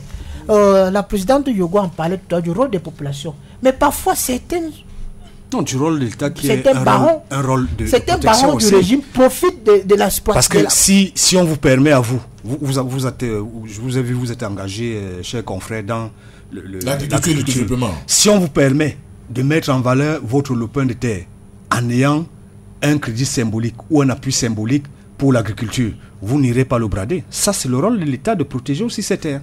Mais lorsque euh, vous retrouvez des gens qui, qui n'ont que ces terres-là, déjà ils peuvent pas avoir un titre foncier, c'est le parcours du combattant. Quand bien tu as le titre foncier, euh, ça, ne te, euh, ça ne te garantit pas immédiatement un crédit bancaire. Qu'est-ce qui se passe? On en arrive à ce type de, de situation-là. Il y avait, il y avait un, problème que moi je voulais aussi poser, c'est que Lequel? quand des gens commencent à s'installer, l'État ne les arrête jamais pour dire que c'est ce- c'est son espace. C'est quand il y a déjà tout un quartier qui est né après 50 ans que l'État se réveille pour dire que ici c'était mon espace. Parce que ce problème-là, il faudrait qu'on le soulève aussi. Vous savez, je, on prend, je prends des petits exemples. hein. Quand vous allez sur une route, dès que vous commencez à voir une vendeuse de légumes s'installer là, sachez que le lendemain, il y aura 2, 3, 4, 5. Et si l'État n'arrête pas tout de suite. Par effet mimétique. que- oui. S'il n'arrête pas tout de suite pour dire que non, ici ce n'est pas le marché au bord de la route, parce qu'on ne pourra plus passer, parce que les piétons On n'auront plus de comment droit. euh, certains Le- commerçants envahissent euh, des marchés. Ils envahissent des marchés parce que l'État est aussi laxiste. Aujourd'hui, quand Dès l'État qu'une dit... personne s'installe, les autres suivent. Les autres, c'est automatique. À la poste centrale, le marché de nuit s'installait automatiquement. On voyait les chaussures, les habits s'installer et c'est devenu un grand marché nocturne. Donc, il faudrait qu'à un moment que l'État intervienne aussi rapidement.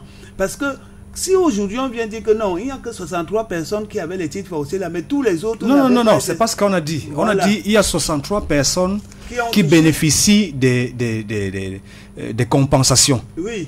Et Mais- que malheureusement, dans ces espaces-là, il y a certains qui, après, Oui. après coup, après décaissement, indiquent qu'ils avaient des titres fonciers. Oui. Or, la loi, la loi dit que le titre foncier ne peut pas être, euh, euh, euh, euh, je sais pas, euh, mis, intégré, ne peut pas être intégré dans la déclaration d'utilité publique dans, dans les conditions de, de, de- de ceux qui n'ont pas de titre foncier. Donc vous voyez qu'il y a roubladis, il y a des gens Donc- qui ont même plus donc de il y a- l'argent. oui, c'est pour ça que puis qui ont mis la poche, populations elles-mêmes, et qui disent de ah, non, non, vous ne pouvez pas parce que la loi dit nous avons des titres d'utilité publique. Bon, et ça, c'est vrai, c'est la, la roubladise. Mais lorsqu'on faisait ces recensements, est-ce que l'autorité administrative qui était en charge de faire ces recensements, est-ce que l'autorité administrative ne s'est pas rendu compte qu'il y avait des gens dans les 14 hectares de- finalement, parce qu'il faut préciser que nous parlons là de 14 hectares, nous ne parlons plus de 2 hectares d'origine. La parole, Thierry Non, en en vérité, je parlais de communautés qui sont là, avant même l'arrivée des colons. Je pense aussi aux pygmées. Quelles sont les terres qui sont les leurs en ce moment au Cameroun, au moment où nous parlons? L'histoire nous apprend que les pygmées sont les, les autochtones du Cameroun, parmi les autochtones même. Mais aujourd'hui, quand vous allez dans le sud, qui est le- le- la, la zone par excellence où le vivent les aussi, hein. ils n'ont presque plus de terre. Ils sont expropriés du jour au lendemain et parfois dans le mépris total de leur culture et de leurs droits en tant que citoyens. Je pense aussi aux communautés Baguili qui sont installées dans le sud également, qui ont été l'objet d'expropriation sauvage. Donc ce sont des phénomènes qui existent. Et c'est pour ça que je voudrais dire qu'il ne faudrait pas que l'affaire de Dicalo puisse... Dicolo. Dicolo, excusez-moi, l'affaire de Dicolo puisse occulter ces phénomènes qui sont réels. Aujourd'hui, l'accaparement des terres, parce que c'est l'expression consacrée, est un fléau au Cameroun. Il y a des communautés tout entières qui sont dépossédées de leurs terres, parfois avec leur complicité. Mais qu'est-ce qui se passe sur le terrain? Très souvent, ces barons exploitent la misère de ces communautés-là et obtiennent des terres à des prix impensables. Parfois 200 francs le mètre carré. Très souvent. Oui, c'est, il y a, il y a, il y a c'est certains de nos compatriotes, Non, je- je- certains de je nos peux compatriotes qui ont 1000 hectares de terrain. Et Où il n'y a rien à faire dedans. Et Juste pour le plaisir de voir une brousse qui vous appartient. Ils disent, Il y en a. des villages, ils disent, ce- cette zone c'est mon village. Ça veut dire qu'ils deviennent des rois, quoi. Royaume. Bon, je, je, je, je crois que la, la politicienne, Madame Yogo, est volubile sur le sujet, donc je vais rapidement parler pour lui laisser la parole. Non, En vérité, je où- vous aide seulement parce Euh. vous savez, vous le crack c'est de dénoncer le propos. Si on ne dénonce pas, si on n'utilise pas ces termes, si on ne les appelle pas les voleurs de la République, si on ne dit pas qu'ils sont, ils sont des, des roitelets, parce qu'il y a le grand roi et puis il y a le- les autres. Donc quand chacun prend toute une zone du pays, ils vont se partager ce. D'accord. Et nous Donc, allons devenir leur sujet à vie. Mon propos ici est que les affaires de terre ou ces scandales fonciers là font peser sur le Cameroun une menace très lourde. Parce que ces communautés qu'on exproprie, ces personnes qui du jour au lendemain n'ont pas de terre, qu'est-ce que vous pensez qu'elles feront après? Je pense qu'elles vont se préparer avec les moyens qui sont les leurs et avec les armes qui sont les leurs à récupérer leurs terres. Et cela préfigure des conflits à l'avenir. Qu'on sème. À l'avenir, je vous assure. Oh, le gouvernement ferait mieux. On dit généralement que gouverner se prévoit. D'anticiper ce phénomène-là. Parce que dans les, les décennies à venir, je ne suis pas en train de jouer ici, sur ton plateau, Serge Aimé, les oiseaux de mauvais augure. Je suis en train de faire de l'analyse, l'analyse prospective. Dans les décennies à venir, il y aura des conflits entre ceux qui ont arraché les terres et ceux qui veulent récupérer leurs terres. Ce seront les conflits du Cameroun de demain. D'accord. Et ces conflits seront sanglants. Donc j'invite le gouvernement à se pencher sur ces problèmes-là. Et la solution, c'est quoi? C'est que oh, il faudrait que le gouvernement puisse accorder davantage de considération au droit coutumier. Celui qui est le propriétaire de la, de la terre, au nom du droit coutumier, il doit être considéré également sur le plan du droit tout court, comme le propriétaire de cette terre. Donc pour le faire sortir de la misère, il peut, si son, sa propriété de cette terre est reconnue, contracter des crédits bancaires. Or, vous aviez des zones où des gens ont certes des terres, mais qui ne sont pas matricu- peut même matri- bénéficier de l'accompagnement du gouvernement pour pousser la des production crédits- agricole. Des crédits. Parce qu'aucune banque ne pourra s'engager à leur octroyer des crédits s'ils ne peuvent pas apporter la garantie que ces terres sont les leurs. D'accord, en rapport avec euh, euh, les frais de euh, déménagement de mobilisation, on retient également dans la documentation disponible que, en marge du versement des droits financiers, le promoteur s'engage sans réserve à accompagner la chefferie et les populations dans la recherche et l'attribution de terres compensatrices sur le domaine privé de l'État ou sur le domaine national aux alentours euh, géographiques proches de la langue douala pour éviter de déculturer les populations et les éloigner de leurs droits naturels. Cette compensation foncière va porter sur une superficie de 5 hectares. Superficie de euh, 5 hectares. euh, euh, les différents, les, di- les- les- les- les- les- les différents frais, depuis la demande d'attribution jusqu'à l'immatriculation, sont entièrement à la charge du promoteur qui s'engage à mettre à la disposition des populations et de la chefferie les dix terres dans un délai de 12 mois à compter de la signature de la plaisante. Oui, pe- peut-être que parce que vous lisez, il- faut qu'on dise euh, ce que ça veut dire, ça. Oui. Ça veut dire que l'accord, l'accord qui a été signé entre le chef du canton Bell et le preneur, dont le président directeur général de Immigration Business Canada, euh, en la personne de Olivier Chi euh, euh, Noako, qui, dit est le, qui, est le, pro- qui est le porteur du projet complexe Marriott, ils se sont entendus dans cet accord qu'au-delà de l'argent qu'il est en train de verser pour les dédommagements et pour la démobilisation, argent qui leur a été versé déjà, il s'engage durant les 12 mois, parce que je vous ai dit que la- l'argent que l'État donne, c'est 12 mois qui correspondent à 12 mois de loyer. Durant ces 12 mois donc, lui, le preneur, s'engage à trouver un espace de 5 hectares. C'est alors construire un nouveau village. Met- non, non, il- 5 c'est- c'est hectares. ça, non? 5 hectares Il met à la 14 disposition hectares et il va leur donner 5. qu'il met à la disposition des personnes qui ont été expropriées à euh, euh, euh, Dicolo sur les 2 hectares qu'on lui a donnés. Parce qu'il faut préciser aussi que les 14 hectares, c'est pas lui qu'on a donné. Il n'a que 2 hectares là-bas.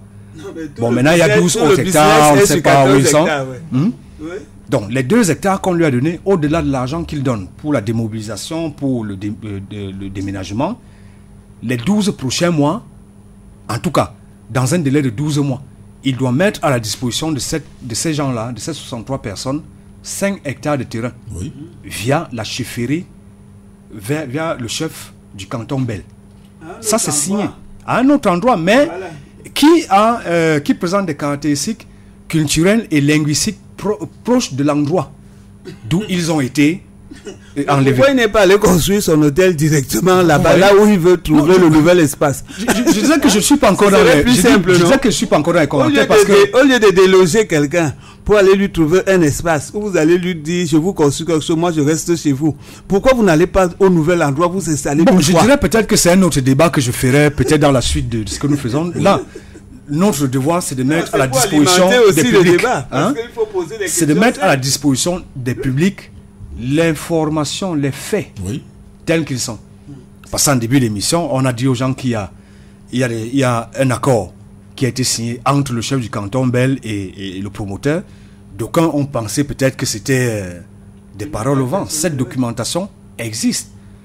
Quoique entre eux deux, ils ont estimé au dernier paragraphe de cette affaire avant de signer que c'est frappé du sceau de la confidentialité. Si des gens, posons-nous des questions simples, s'il y a de l'argent à donner aux gens pour des compensations quelconques, pourquoi est-ce que cela doit être confidentiel Puisque ça concerne une communauté? S'il y a 5 hectares de terrain qui doivent être mis à la disposition de ces personnes qu'on a déguerpies et qu'on loge sur 12 mois en attendant les recaser ailleurs, pourquoi est-ce qu'il faut cacher que dans 12 mois vous aurez 5 hectares? Vous comprenez qu'il y a un problème.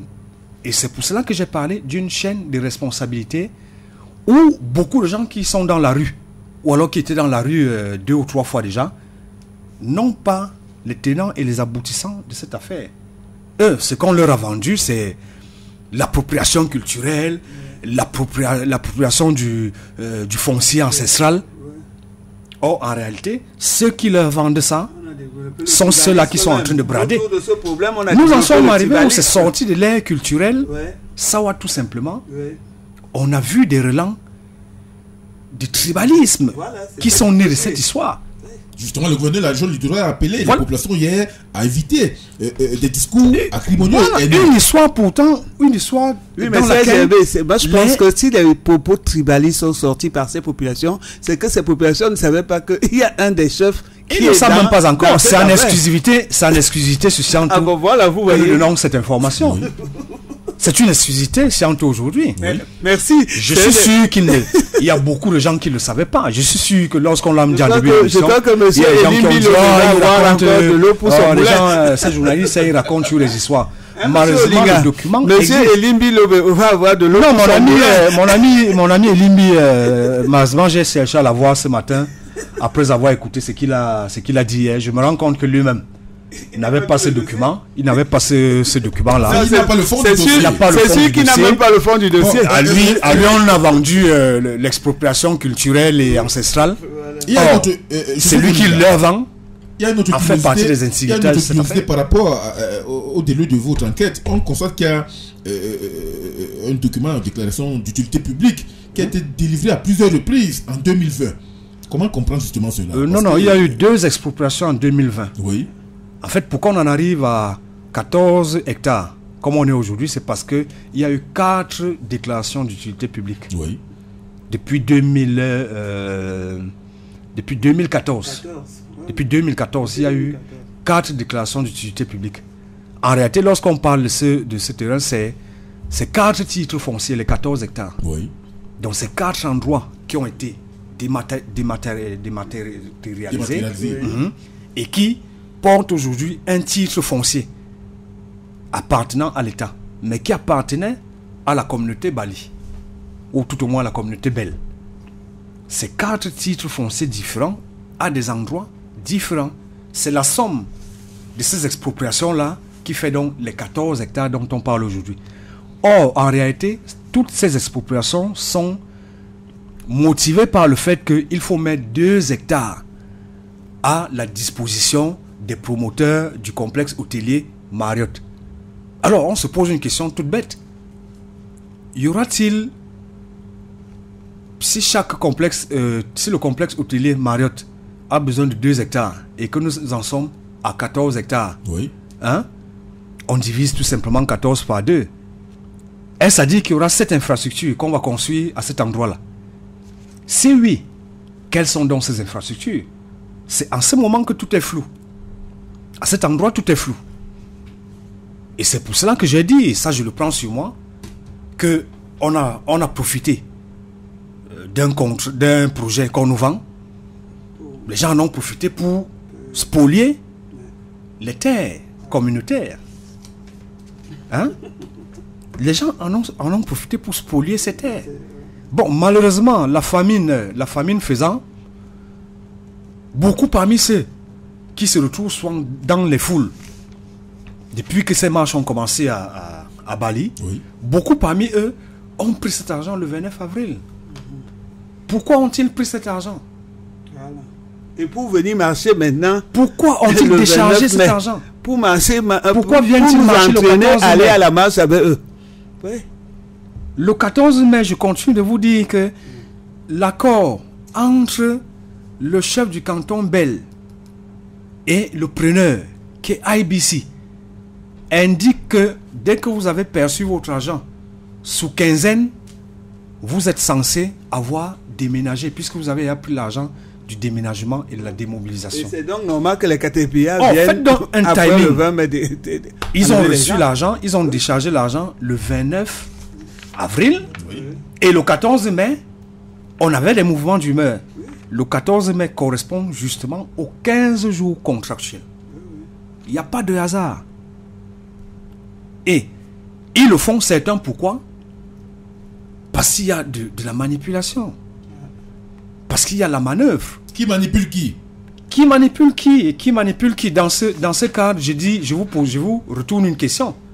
Qui était l'interface de ces populations avec le preneur? Ces preneurs, ces, ces populations à qui on a remis l'argent, qui ont déchargé avec des empreintes digitales et des signatures. Ça, il faut le préciser.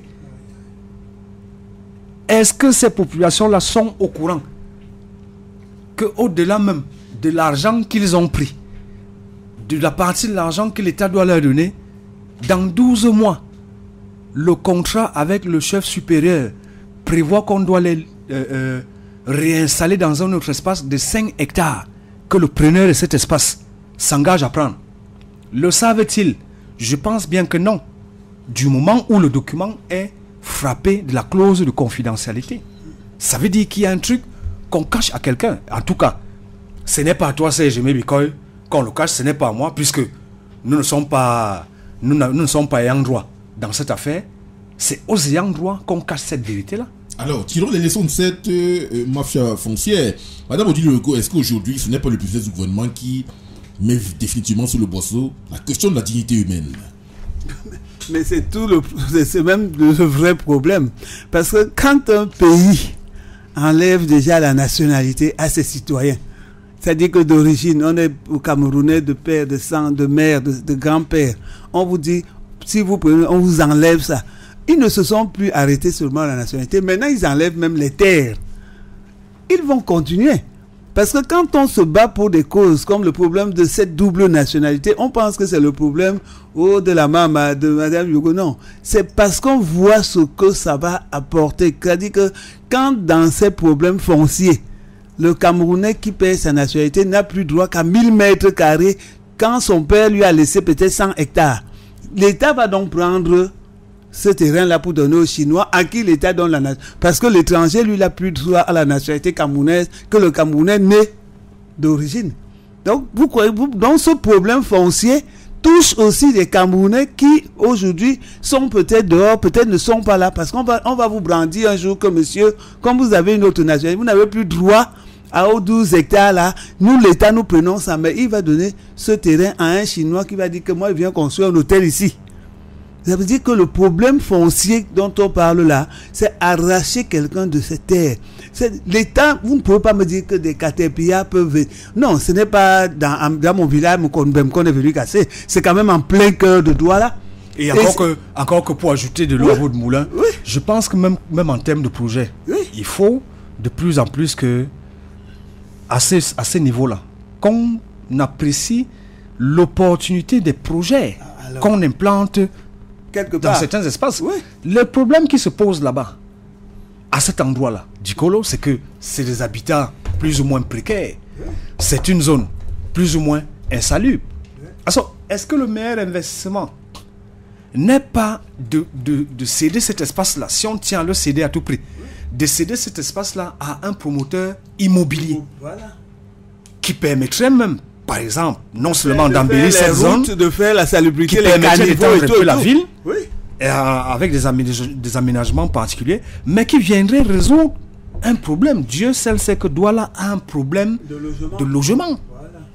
Un hôtel, c'est vrai, il aura 280 chambres et des suites. C'est jamais. Il arrive qu'on dorme dans, ce- dans ce genre d'endroit. Mais est-ce que mais les autres de nos compatriotes Voilà. ont rêvé une seule fois dans leur vie qu'ils passeront une nuit là-bas? Ont-ils les moyens d'y aller? Oh, des appartements qu'on louerait aux gens, je sais pas, 75 000 francs, 100 000 francs par mois, ça rapporterait au-delà de 6 milliards, au, au lieu, au lieu de 6, en lieu de 6 milliards et demi, que cette convention de Dicolo pour la construction de cet hôtel rapporte à l'État du Cameroun sur 50 ans. Sur 50 ans. Parce que c'est 30 131 millions qu'il verse par an. Est-ce qu'en construisant des logements, on ne verrait pas un gain pour l'État du Cameroun qui serait multiplié par 5 Et ça même, c'est Ou par c'est 10. même une utilité publique alors, parce que beaucoup ça plus population. Oui, mais, mais, Mais je ne sais pas pourquoi on se retrouve avec des hôtels Marriott juste pour le prestige. Euh, il, il me semble qu'il y a, il y a une logique très la, canne est même passée. La canne est même passée. Donc les hôtels là, on en a même en plus besoin. sociologie. Hein? Oui. On ne va se distraire que lorsqu'on a plus faim. Voilà. Merci beaucoup. Vous ne pouvez pas, vous ne pouvez pas offrir le divertissement et le prestige aux gens qui ont des besoins basiques. Basique. Et les besoins basiques, Voilà. à ce niveau-là, c'est des logements sociaux.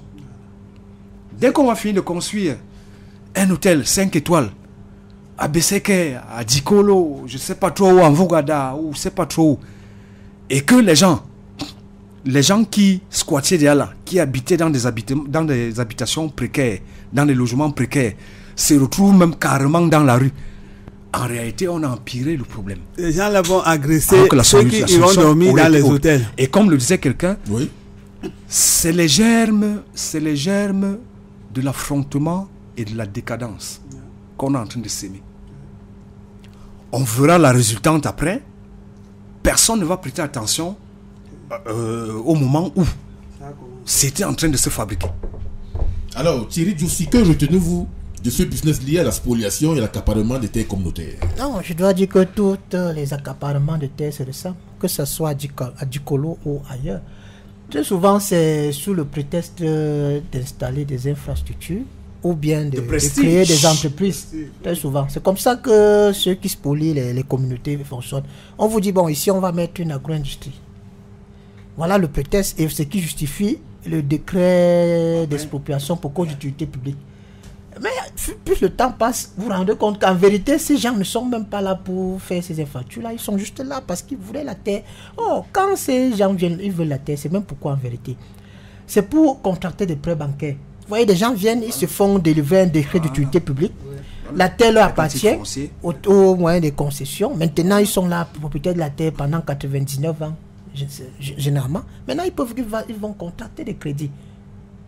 Et très rarement, même, ils investissent sur, sur place.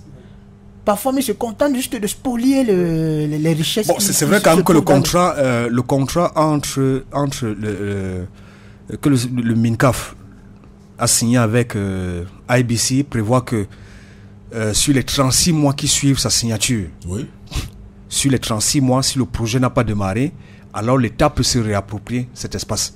Je crois que c'est l'une des raisons aussi qui fait que euh, vous allez constater que à un moment donné, le, le- le preneur veut à tout prix accéder à cet espace parce que les 36 mois, c'est cette année. Le contrat a été signé en 2020. Oui. Donc 36 mois, ce sera, euh, ce sera fin 2000, euh, 2023. Oui. Donc si, le, si le chantier n'est pas engagé en ce moment, alors en fin 2023, l'État a le droit, quelles que soient les dépenses qu'il a engagées, l'État a le droit selon le contrat dont nous avons copié aussi. Je ne parle pas des rumeurs. Le contrat dit que si dans les 36 mois qui suivent la signature du contrat, entre l'État du Cameroun et lui, si le chantier n'a pas démarré, alors l'État se réserve le droit, le- le- l'État, le, bailleur, le bailleur qui n'est personne d'autre que le MINCAF, le bailleur se réserve le droit de reprendre ces espaces-là et de les, de les mettre, euh, de, de- de les utiliser à autre chose. Je crois que c'est l'une des choses qui fait que euh, vous allez voir le preneur, c'est le preneur qui va louer les caterpillars, c'est lui qui va machin, parce que euh, il a mis beaucoup d'argent, c'est un homme d'affaires de toutes les façons aussi. Il a mis beaucoup d'argent et le temps est en train d'avancer. Ça fait deux ans de perdu déjà. S'il ne commence pas le chantier, l'année prochaine, l'État le reprend ce terrain. C'est pour ça que je vous disais en début d'émission, la mesure qui a été prise par le gouverneur, elle est sujette à caution. Sujette à caution parce que le contrat entre l'État du Cameroun et ces gens-là prévoit que leur seule interface, c'est le MINCAF. Vous comprenez? Et que eux aussi, parce que le- autant l'État a les droits, autant ils ont des droits, eux aussi peuvent arguer de ce que c'est l'État qui leur empêche d'implémenter leur contrat et amener l'État devant des juridictions compétentes qui ne sont rien d'autre, parce que la juridiction elle est bien spécifiée. Il n'y a que les institutions OADA. Il n'y a que les institutions OADA qui peuvent juger de ça. Ce n'est pas, pas nos tribunaux classiques qui sont, qui sont appelés à juger ça. C'est bien précisé dans ce contrat. Donc, il y a cette bagarre-là. On peut se retrouver, pendant qu'on parle encore des marches à, Bali et machin, euh, ces, gens-là qui sont des preneurs, ils n'ont qu'à faire des constatations à la Loada et dit ok euh, l'État nous a vendu l'État du Cameroun nous a vendu euh, un espace et il est le premier à, nous empêcher de, construire ces espaces parce que le gouverneur représente bien l'État ils peuvent le faire et au lieu de 6 milliards et demi que eux, ils doivent verser à l'État sur euh, 50 ans. Ils peuvent dire que le manque à gagner c'est peut-être je sais pas Mais- trop quoi. mais- dans ce cas-là on peut arriver à ce type de situation Oui, aussi. mais monsieur Olinga, depuis que nous avons toutes ces explications et tout ce problème-là, par moment, on dit le MINCAF. Mais pourquoi on ne voit pas le MINCAF dans cette affaire foncière? C'est pas le ministre des fonciers? C'est lui, le mais, pourquoi, c'est lui qui a signé ce contrat et Bah, c'est bah, lui qui est le seul euh, interlocuteur de ces- gens-là. Voilà, c'est- il lui le seul. précise bien, monsieur Lingadi, c'est le seul interlocuteur. C'est Mais mentionné c'est- dans mais ce c'est le seul absent, le seul absent donc. Justement, Qu'est-ce qu'est-ce qui justifie J'ai l'impression que le MINCAF sait bien qu'il est sous contrat avec ces gens-là. Peut-être le gouverneur, bon, pour sauver la face, il faut bien qu'il tape un peu euh, euh, du bras sur la table. Mais en réalité, le seul interlocuteur de ces gens qu'on appelle IBC, qui porte le projet Mario, selon le contrat qui porte sur 24 pages, je crois, qu'ils ont signé avec le MINCAF, leur seul interlocuteur, c'est le MINCAF. Bon, moi, ils ont- il n'y a que de- deux modes de résolution. Cette semaine avec le chef de la cellule de communication du MINCAF, Alain. Amasoka, qui me faisait savoir que c'est plutôt le gouvernement qui a justement publié le décret de déclaration d'utilité publique. Donc, c'est le premier ministre ou bien le porte-parole du gouvernement qui doit se prononcer sur ces- ça- cette non, affaire. euh, euh, euh, ne faisons pas l'amalgame entre, version entre le prononcé. entre- non, non, non, c'est une version, il dit vrai. Alain Massoka dit vrai. C'est le Premier ministre ou le chef de l'État qui signe un décret. du- d'utilité- un décret publique. Ça, c'est vrai. Moi, je parle du contrat de cession. Le contrat de cession de cet espace, c'est entre le MINCAF et eux. Ça n'a rien à voir avec le décret. Il faut d'abord qu'il y ait une. Il, fallait d'abord qu'il y ait une déclaration d'utilité publique sur ce terrain-là pour qu'il soit à la disposition de l'État. Mais maintenant, la personne qui représente l'État dans la signature de ce contrat, c'est le MINCAF. Et il n'y a que le MINCAF. Selon les- les- le contrat qu'ils ont signé, ils ont deux modes de résolution. Soit à l'amiable, soit se présenter à l'OADA. Le gouverneur n'est pas leur interlocuteur. Le préfet n'est pas leur interlocuteur. Ils ont juste eu besoin du préfet parce qu'il y a- deux lettres où ils ont invité le préfet à mettre à leur disposition la logistique, dont la salle et du personnel pour la fameuse distribution euh, des, des du 29 avril dernier. Réunion à laquelle ils invitaient aussi le préfet, qui y était par ailleurs. Il- on ne l'a pas seulement invité, il y était. Tirons les conséquences sociales et politiques de euh, cette mafia foncière. Thierry Djoussi. En fait, euh, je, je crois que aujourd'hui, il faut juste reconnaître que c'est vraiment, vous avez vraiment choisi, tu as vraiment choisi le thème. Il s'agit d'une mafia en général, d'une mafia foncière, au détriment de qui, au détriment de parfois de l'opinion publique à qui on a servi de contre Qui est manipulé. Donc, je, pense, mais en vérité, Alors que le problème, c'est comment, pas là, comment on, le- en vérité, ce qui se passe dans l'arrêt pays est terrible. Les populations sont dépossédées de leurs terres au profit des riches qui ont des moyens, qui s'accaparent ces terres-là. Très souvent aussi, il y a des agro-industries qui s'installent et qui ne font que grignoter la part des terres qui revient aux populations. C'est un problème sérieux. Et je pense que l'affaire de Dicolo ne doit pas détourner notre attention de ces réels problèmes, de ces populations qui sont du jour au lendemain en insécurité sur leur propre terre, sur la terre de leurs ancêtres.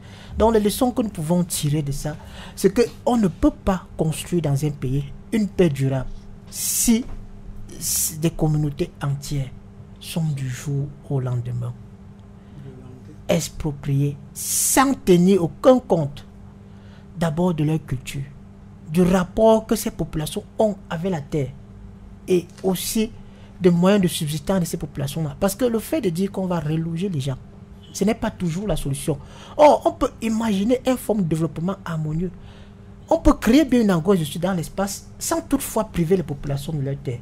Je pense que c'est des modèles comme ça qu'on doit privilégier. Un peu, ça se passe du côté du nord avec la zone de coton, où les terres sont exploitées par des populations et elles vendent leur production à la zone de coton. Or, au lieu de débarrasser les, les- les populations de leur espace, on peut plutôt leur apprendre les techniques culturelles. Si c'est de l'huile de palme qu'on veut cultiver, euh, le palmier à huile qu'on veut faire dans ces zones-là, on apprend donc des populations locales à cultiver cet espace-là et à vendre la production aux agro-industries qui vont s'installer. Et non plus le, le- le scénario qui consiste à évacuer les populations comme si elles ne sont pas capables d'exploiter leurs terres et parfois de faire venir des gens d'ailleurs qui viennent là-bas occuper les terres, cultiver ce que les populations locales peuvent faire. Donc aujourd'hui, le gouvernement a la mission sacrée. Parce que le rôle du gouvernement aussi, c'est d'empêcher que l'explosion naisse dans un pays. Et comme on le dit souvent, c'est quand les gens sont à bout que ça commence. Et les statistiques sont en train de le prouver. De plus en plus de gens ne supportent pas d'être dépossédés de leur terre et ça préfigure des conflits à venir. Donc, moi, je suis adepte du développement. On ne peut pas évoluer sans développement. Nous sommes un pays touristique, donc les hôtels dans un pays touristique, ce n'est pas un gros mot. Il faut des hôtels parce que le Cameroun a une vocation touristique. Mais il faut également voir dans quelle mesure concilier les exigences de modernisation du Cameroun avec les intérêts des populations locales. Si on leur présente la chose et on leur dit que ces hôtels-là, vous en serez les premiers bénéficiaires parce que vous allez travailler là-bas. là-bas. L'argent que vous pouvez obtenir de, tirer du salaire, ça peut vous permettre de vous bâtir ailleurs. Mais les populations peuvent aussi opposer leur argument. Mais vous pouvez prendre tel espace, mais cet autre espace, laissez-le nous. Parce que c'est où nos ancêtres, où notre Dieu local réside et nous le vénérons là-bas. Or, on ne peut pas ravager comme ça des forêts sacrées, des, des- des- des terres sacrées et penser que le développement seul peut suffire au bonheur de certaines personnes. Donc, je prof- profite euh, de cette émission qui était suivie pour tirer la sonnette d'alarme. Alors, Madame Odile Yogo, est-ce que euh, dans les jours à venir, on ne pourrait pas vivre des situations d'explosion sociale au regard euh, de la spoliation des terres communautaires? Mais quand on chante dans l'hymne au Cameroun, berceau de nos ancêtres, si maintenant on prend cette type, on commence à le mettre dans chaque petite communauté, et que finalement le berceau des ancêtres des gens n'est plus le berceau, on s'attend à quoi? On s'attend à ce que ce Cameroun peut même se perdre, puisque quand vous vous déracinez quelqu'un de là où ses ancêtres sont, vous vous attendez à quoi? Vous allez construire sur quoi? Vous allez construire sur quoi? Parce que tout le monde a son repère. Et encore, on dit même chez nous que la souris sort de son trou pour aller mordre dehors. Mais si aujourd'hui des gens n'ont plus l'espace ancestral où ils se reconnaissent, où ils tirent même leurs énergies, positives ou négatives, mais c'est là où on c'est- Quand vous privez des gens de pouvoir se recueillir là où les leurs sont couchés, vous vous attendez à construire quelle société? Est-ce que ceux qui prennent ces décisions-là, un seul instant, ils imaginent qu'on vienne avec un caterpillar raser les tombes de leurs parents C'est-à-dire que moi, je crois que euh, les, les- les- les- les intérêts personnels, parce que dans toute cette histoire, dans le détail que M. Olinga nous a donné, dans les éléments qu'il donne, dans les, les- les éléments de preuve qu'il a, bon, pour, pour l'instant, des gens vont dire oui, mais il faut qu'on vérifie. Mais au moins, ce qu'il explique, ce qu'il donne comme détail en tant que journaliste, nous amène à nous poser la question, est-ce que ce sont des Camerounais qui devraient être là à détruire la vie des autres Camerounais? C'est-à-dire que c'est là la question. Moi, en tant que femme politique, je me pose la question, quel est donc notre rôle? Nous disons, nous voulons diriger une nation, nous voulons diriger des populations, nous voulons être des leaders de communautés. Mais c'est nous qui faisons pleurer ces communautés du matin au soir. Finalement, est-ce que nous jouons pleinement leur rôle? Est-ce que ces populations ne sont même pas trompées en nous choisissant comme leur porte-parole, comme leurs élus? Parce qu'on ne vous pouvez pas être l'élu d'un peuple et vous traumatiser le peuple en question. Moi, je pense que nous sommes arrivés à un niveau où les gens se disent la République va à volo, chacun pèse, le, pays est percé, chacun met son trou. Si tu as la pioche, tu pèses. Si tu as l'aiguille, tu mets. Celui qui a le poinçon pèse. Quand un pays est déjà percé, chacun met son trou. Mais ils vont, quand ils vont percer, à un moment, il n'y aura plus ce sera tellement troué que on va devoir recommencer. C'est pour ça que moi je dis que nous, ne pensons pas que tout ce qui se passe là va s'éterniser. Non. Ne pensez pas, parce que quand vous venez à parler, on va vous dire que oui, mais le crack c'est un petit parti, vous parlez quoi? Nous sommes sur le maillage territorial. Moi j'ai toujours dit aux gens, c'est jamais, que même le président de la République qui est là, ça n'a pas été le choix d'un parti. Ça a été le choix d'un individu qu'on appelle Aïdjo qui a dit je mets celui-là là. Parce qu'il s'est dit c'est lui qui peut conduire. Donc il faut vous dire que ce pays, à un moment, changera. Peut-être même pas par la volonté des partis politiques. Parce que qu'on aura décidé qu'une seule personne peut, au moins par des valeurs, par des choses, changer ce pays. Et cesser de faire que tout, comme vous entendez toujours que les contrats sont signés sous table.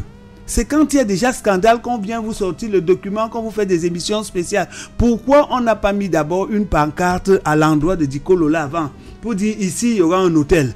Pour attirer déjà l'attention des gens. Non, non, il le savait, il le savait. Les- Ça, dans les populations- On ne peut pas, on ne peut pas le nier. Voilà, Ça, vous voyez. Ce serait, Donc, ce serait un mensonge. si les- si ils le savent depuis au moins une dizaine d'années. Voilà. Donc, à partir du moment où les gens savaient le donc savent. depuis une dizaine d'années qu'on allait les casser. Faut pas- on va Donc, pas- Mais, mais monsieur Liga, pourquoi donc il y a toutes ces marches Non, je- c'est pour ça que j'ai dit, on ne va pas faire comme si. euh, Ah, voilà. Vous, vous- euh, Ils le vous- savent, la preuve. Vous voyez, vous l'argent euh, qu'ils ont décaissé, et- décaissé et- sur et- quel- Et c'est bien, quel- monsieur Linga, parce le qu'il y avait un, un thème ici sur le minier. Moi, j'avais dit c'est à CGM que je ne viens pas à l'émission là parce que je n'ai pas tous les éléments.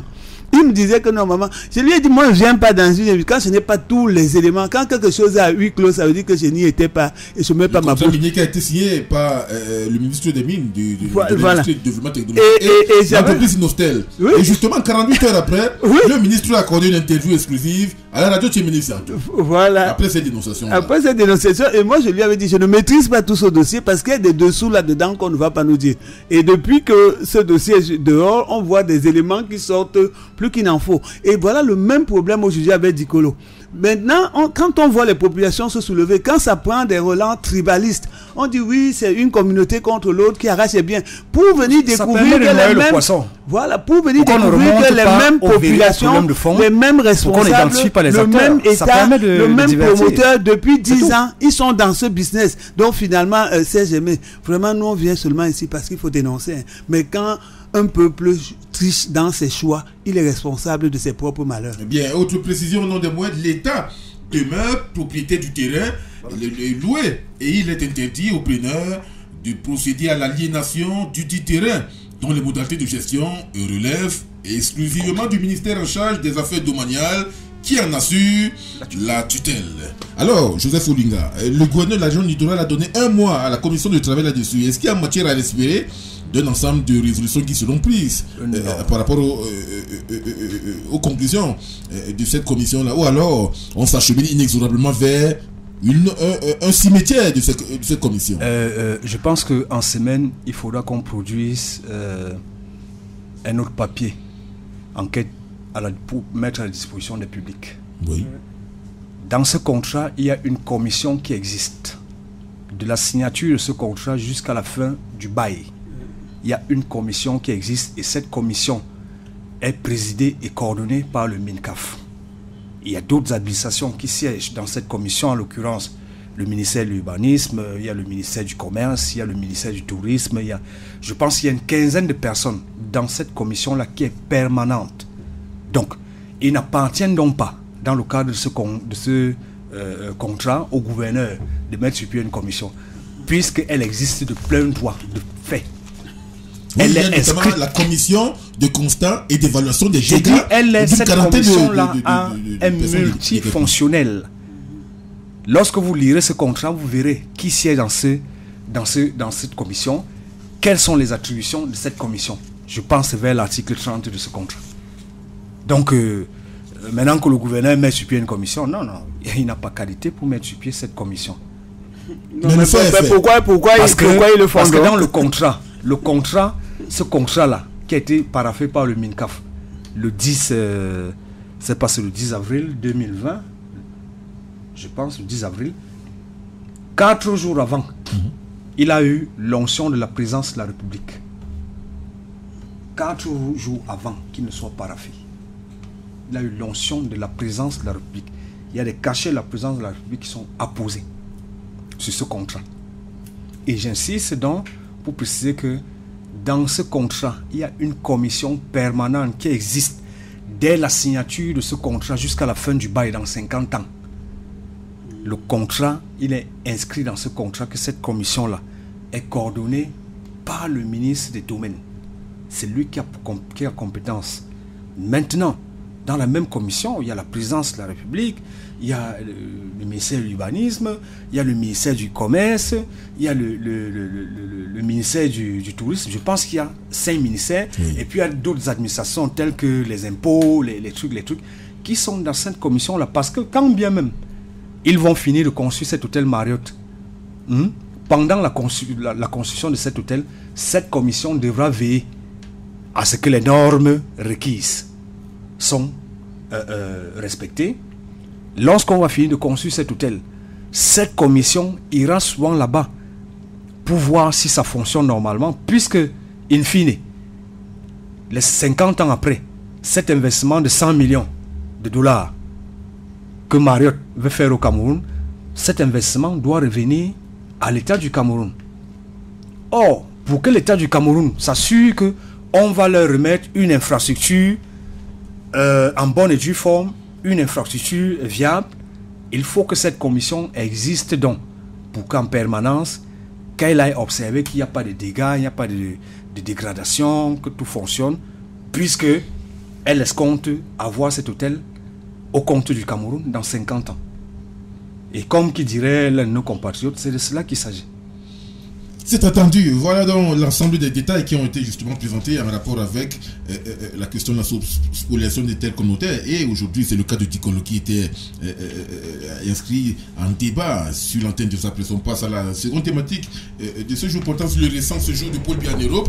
René Emmanuel Sadi euh, le journaliste placard suite à la diffusion de sa chronique sur l'antenne de Radio France Internationale le 21 mai dernier. Le porte-parole du gouvernement camerounais a fait une sortie publique pour recadrer le chroniqueur. Alors, euh, euh, euh, Thierry Djoussi, on remarque naturellement que le gouvernement est toujours dans une posture défensive. Et pourquoi? Et même aussi dans une logique de distraire les Camerounais. Vous savez, je suis journaliste et on parlait des affaires de médias, donc je crois que je peux en dire quelque chose qui a une valeur. En vérité, qu'est-ce qui se passe quand un média dit des choses qui ne vous plaisent pas, ou bien que vous estimez qu'elles sont fausses? Tout le monde. Faites simplement un droit de réponse aux dix médias. Tout simplement. C'est ce que prévoient les tests de la République, l'exercice du droit de réponse. En vérité, si le ministère de la Communication n'est pas content de la chronique des placards, c'est simple de faire juste un droit de réponse à RFI. Et tout média professionnel, tout média sérieux a le devoir de publier le droit de réponse. Est-ce que le ministère de la Communication du Cameroun a adressé un droit de réponse à RFI Non. Ah, bah, non, pas du tout. Et qu'est-ce que- qu'est-ce qu'est-ce qu'on fait à la place? En vérité, c'est-à-dire on répond à une chronique diffusée dans un média, pas un communiqué de presse. Première chose, on amplifie. On amplifie. Puisque la chronique de placard, je ne suis pas sûr qu'elle est très écoutée au Cameroun. Et il le fait cette chronique depuis des décennies. Oui. Bon, on amplifie. Donc, que l'espoir que le ministre de la Communication, le ministère de la Communication a réalisé, c'est d'amplifier une chronique, de, de la, de la populariser. Une chronique qui n'était même pas écoutée par la plupart des Camerounais, j'imagine. Et a- on le, ce problème. le, le- le second espoir, c'est de rendre placard star au Cameroun. Parce qu'au moins depuis deux semaines, Jean-Baptiste Placard est une star au Cameroun. Quelqu'un qui exerce sur RFI depuis des décennies. On n'avait jamais autant parlé Chose de curieuse, des émissions ont été organisées sur des chaînes de télévision locales. Non, j'ai parlé de la législation. J'en reviens. Je- on connaît comment autres. Parce que au moins, j'ai. En vérité, avant même de me consacrer pleinement et presque entièrement aux questions agricoles et pastorales, moi j'étais un journaliste politique. Donc je couvrais des événements politiques, j'ai marché avec des politiciens et j'ai même rédigé les discours de certains politiciens. Je connais comment ils fonctionnent. Surtout quand ils ne peuvent pas régler un problème. T'assure. Or, pourquoi le, ce, ce, ce communiqué de, de René Sadi est sorti? En vérité, c'est juste pour distraire les Camerounais. Oh, parce qu'il y a deux types de gouvernements dans le monde. Non, je vous, c'est vérité, c'est- le but même c'est de, de, de, de distraire le peuple. Parce qu'il y a des gouvernements dont la vocation c'est de travailler pour le peuple. Il y a même d'autres catégories de gouvernements qui sont là pour distraire le peuple. Parce qu'il y a l'affaire de Djikolo qui prend de l'ampleur et le gouvernement est muet jusqu'à la sortie du gouverneur. Le gouvernement était muet, peut-être n'avait pas de solution. Oh, il a fallu donc envoyer le détourner le regard du peuple. Voilà donc comment cette chronique, ce, ce- communiqué est sorti. C'était le but, c'était de détourner l'attention des Camerounais. Et Alors qu'il y a un réel problème. Mais la ficelle était trop grosse, en vérité. Pourquoi? Parce que la source même des placards, ce sont les. les La presse médias helvétique. suisses. Parce que ceux même qui ont parlé de cette affaire, c'est le, le temps des, et la tribune de Genève et la radio cité, ce sont des médias. Et dans sa connue, placard dit bien, parle bien des médias suisses. Donc il n'est même pas. Et lui-même aussi les met des réserves. Vous vous souvenez bien. Surtout quand il dit, les selon les médias suisses, ou bien selon nos confrères suisses, ce serait le dernier voyage de Paul Biya. Placard dit, est-ce qu'ils tiennent cela de source médicale? Oh, dans la logique même, Placard lui-même prend du recul. Mais comme Placard, c'est un, comme on dit, un ouvrier de l'information. Tous les samedis, il doit produire une chronique. Il faut donc des sujets. Et il ne parle pas exclusivement du Cameroun depuis 10 ans qu'il est là. Il fait des chroniques euh, sur bien d'autres actualités majeures en Afrique. Je dis bien en Afrique. Et l'angle qu'il a choisi dans sa chronique, ce n'est même pas le Cameroun en tant que pays. C'est- la longévité au pouvoir. Oui. Et il, il essaie d'exposer dans sa chronique les ravages de la longévité au pouvoir. Un angle finalement qui fâche. C'est un angle qui, non, qui en général euh, est, à- à- qui, vise à contenter un auditoire, de RFI qui est essentiellement africain. Il n'y a pas qu'au Cameroun qu'on écoute RFI, c'est un peu partout en Afrique. Et quand vous parlez de longévité au pouvoir, je pense qu'en Guinée équatoriale, on se sent concerné. Je pense que même du côté de, du Congo-Brazzaville, on se sent concerné. Donc, dans le traitement, Placard a suivi euh, un, secteur qui concerne euh, le- l'auditoria de, de RFI, de la radio qu'il emploie. Parce que nous savons tout ce que nous parlons pour un public donné. Donc, la longévité au pouvoir, ça concerne beaucoup d'Africains. Et vous estimez bien que dans sa rubrique aussi, ceux qui l'ont écouté, parce que le président il est rentré le 19 et il a fait sa chronique le 21, donc le samedi suivant. Oui. Et il fait sa chronique tous les samedis. Donc ça n'a aucun rapport avec la fête nationale qui était le 20 mai. C'est ce que le communiqué du ministre vouloir dire, ce qui n'est pas vrai. Parce que tous les samedis, Placard a rendez-vous avec les auditeurs africains des RFI pour sa chronique. Donc le fait qu'il puisse s'exprimer un 21 mai, ce n'est que pure coïncidence. Pas du tout un lien avec euh, la fête nationale du Cameroun. Et dans sa chronique, c'est où beaucoup de Camerounais ont appris que le président en vérité était en Suisse. Ceux qui ont écouté la chronique samedi. Parce Oui. que quand le président part, on dit qu'il est allé effectuer un court séjour privé En Europe. Et j'ai même une petite anecdote à raconter là-dessus. Ça, c'est une enseignante qui m'a approché. Nous étions. Euh, m'avais c'était le jour de la fête nationale, comme c'était férié. Elle me dit Euh, Monsieur le journaliste, euh, j'étais avec euh, un enfant là. L'enfant est au moins 2. Vous savez, c'est une classe d'examen et généralement, les élèves brillants sont très curieux. Ils posent tellement de questions. Et son élève lui avait demandé Madame, l'Europe, c'est quel pays? Elle a dit, tu parles de quoi? Il dit que non, j'ai suivi à la radio, on dit que le président est allé effectuer un cours séjour privé en Europe. L'Europe, c'est quel pays? Bon, elle m'a m'a l'enseignante l'anecdote. Et moi, je voulais poser la question, mais comment, quelle était ta réponse? Elle m'a dit, bon, vous savez, nos enfants aujourd'hui sont tellement intelligents que ça ne sert à rien de leur cacher les choses. J'ai dit que bon, moi aussi, je vais donc essayer d'aller voir. Mais elle a- elle m'a dit qu'elle expliquait à l'enfant que l'Europe est surtout un continent. Et que dans ce continent, il y a des pays comme la France, comme euh, l'Angleterre, comme la Belgique. Bref, voilà comment ça. Entre autres. Oh, donc moi je veux aussi souligner le ravage de ce type de communiqué même. Sur l'intelligence des de, populations, surtout les plus jeunes. Comment on peut dire dans un communiqué que le président est en cours ce jour en Europe? Mais l'Europe c'est quel pays? Oh, c'est le 21 mai.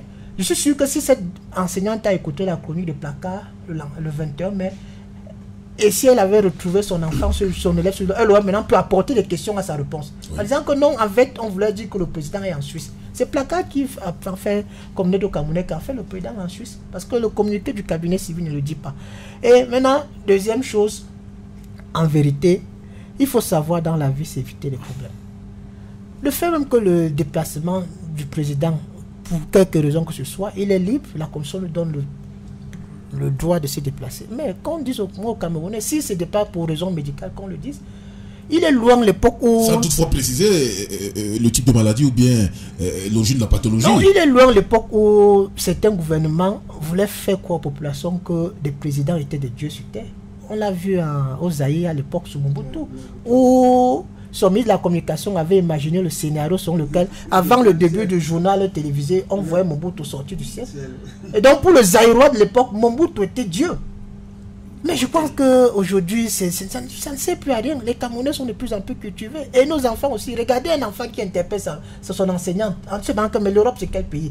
Voyez, donc ça ne sert plus à rien de Après avoir vouloir... décelé une curiosité de- dans le communiqué du cabinet Oui, de vouloir faire des- de la des- de d'entretenir des mystères qui n'en valent pas la peine. En fait, si le président est allé pour raison médicale, c'est un être humain, après tout, il peut se soigner. Encore qu'autour de nous, on voit des présidents communiquer sur ce type de- de- de- de- de- d'exercice. On voit là.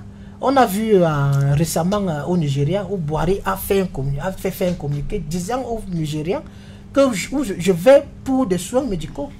Et même aussi en Côte d'Ivoire où Ouattara a été hospitalisé et il a fait savoir aux Ivoiriens. Et il est même revenu en Côte d'Ivoire. Il avait une canne qui tenait en main et un journal a dit que monsieur président, la canne que vous tenez là, c'est quoi? Vous n'arrivez plus à bien vous tenir. Il dit non, c'est la canne de l'émergence. Tu vois comment on peut partout en Afrique, on considère même que ces choses-là, les présidents ne sont pas des dieux en vérité. Je crois qu'il faut communiquer sans toutefois entrer dans le secret du certificat médical. Mais on peut quand même signaler que le président est allé pour des soins de santé. C'est tout. Et je crois que ça suffit à l'information du peuple. Et maintenant, pour en parler de la partie des stations, Oui. je crois qu'en vérité, on voulait détourner l'attention de cette affaire de, de, de Dicolo que nous venons de parler. Et je voudrais ici marquer un temps d'arrêt pour te féliciter et féliciter toi, Serge Mébuco, pour te féliciter. Et féliciter aussi Radio Siantou, Oui. parce que vous n'êtes pas tombé dans le panneau. On a vu des éditions, des éditions spéciales qui sont nées un peu partout. Oh, à Siantou, vous avez eu l'intelligence de mettre la fête du colo au, de- au milieu du débat et aussi la visite présidentielle. Donc, vraiment, félicitations à Siantou, parce que vraiment, il ne faudrait pas que nous aidions le gouvernement à distraire les Camerounais des questions essentielles. Merci bien. Alors, Joseph Olinga, qu'y avait-il euh, désobligeant dans les révélations de la presse helvétique en rapport avec le séjour, le court séjour privé euh, de Paul Biya en Europe? Je crois que euh, la presse, elle fait son boulot. Elle fait son boulot, c'est celle de mettre à disposition des Camerounais, de, de ses, téléspectateurs, de ses, de auditeurs, l'information. Euh, S'il y a un reproche à faire, c'est que euh, c'est nous dans la presse camerounaise qui aurions dû communiquer à ce sujet. Ah, Mais moi, mon problème même, c'est que euh, nous-mêmes, on n'avait pas l'information parce que tout est verrouillé. C'est la presse helvétique qui, qui, nous donne l'information. Ben, je crois aussi que ça, c'est lié un peu à, certains réflexes que nous avons cultivés. Euh, à la fois, on veut, on veut se moderniser, mais on reste, on reste on campe sur des, sur des habitudes assez rétrogrades. Or, en termes de gouvernance, l'un des préalables, l'un des préalables, c'est les dispositions physiques et mentales. C'est-à-dire, lorsque vous êtes euh, responsable public, pas seulement le président de la République, lorsque vous êtes responsable public, lorsque vous touchez à, la gouvernance publique, la première des choses dont on doit s'assurer, c'est que vo- votre disponibilité physique, vos, disponibilités mentales sont... Ce n'est pas, pas un débat. Il est normal même, il est normal dans des d'autres on a vu dans d'autres pays comment ça se passe.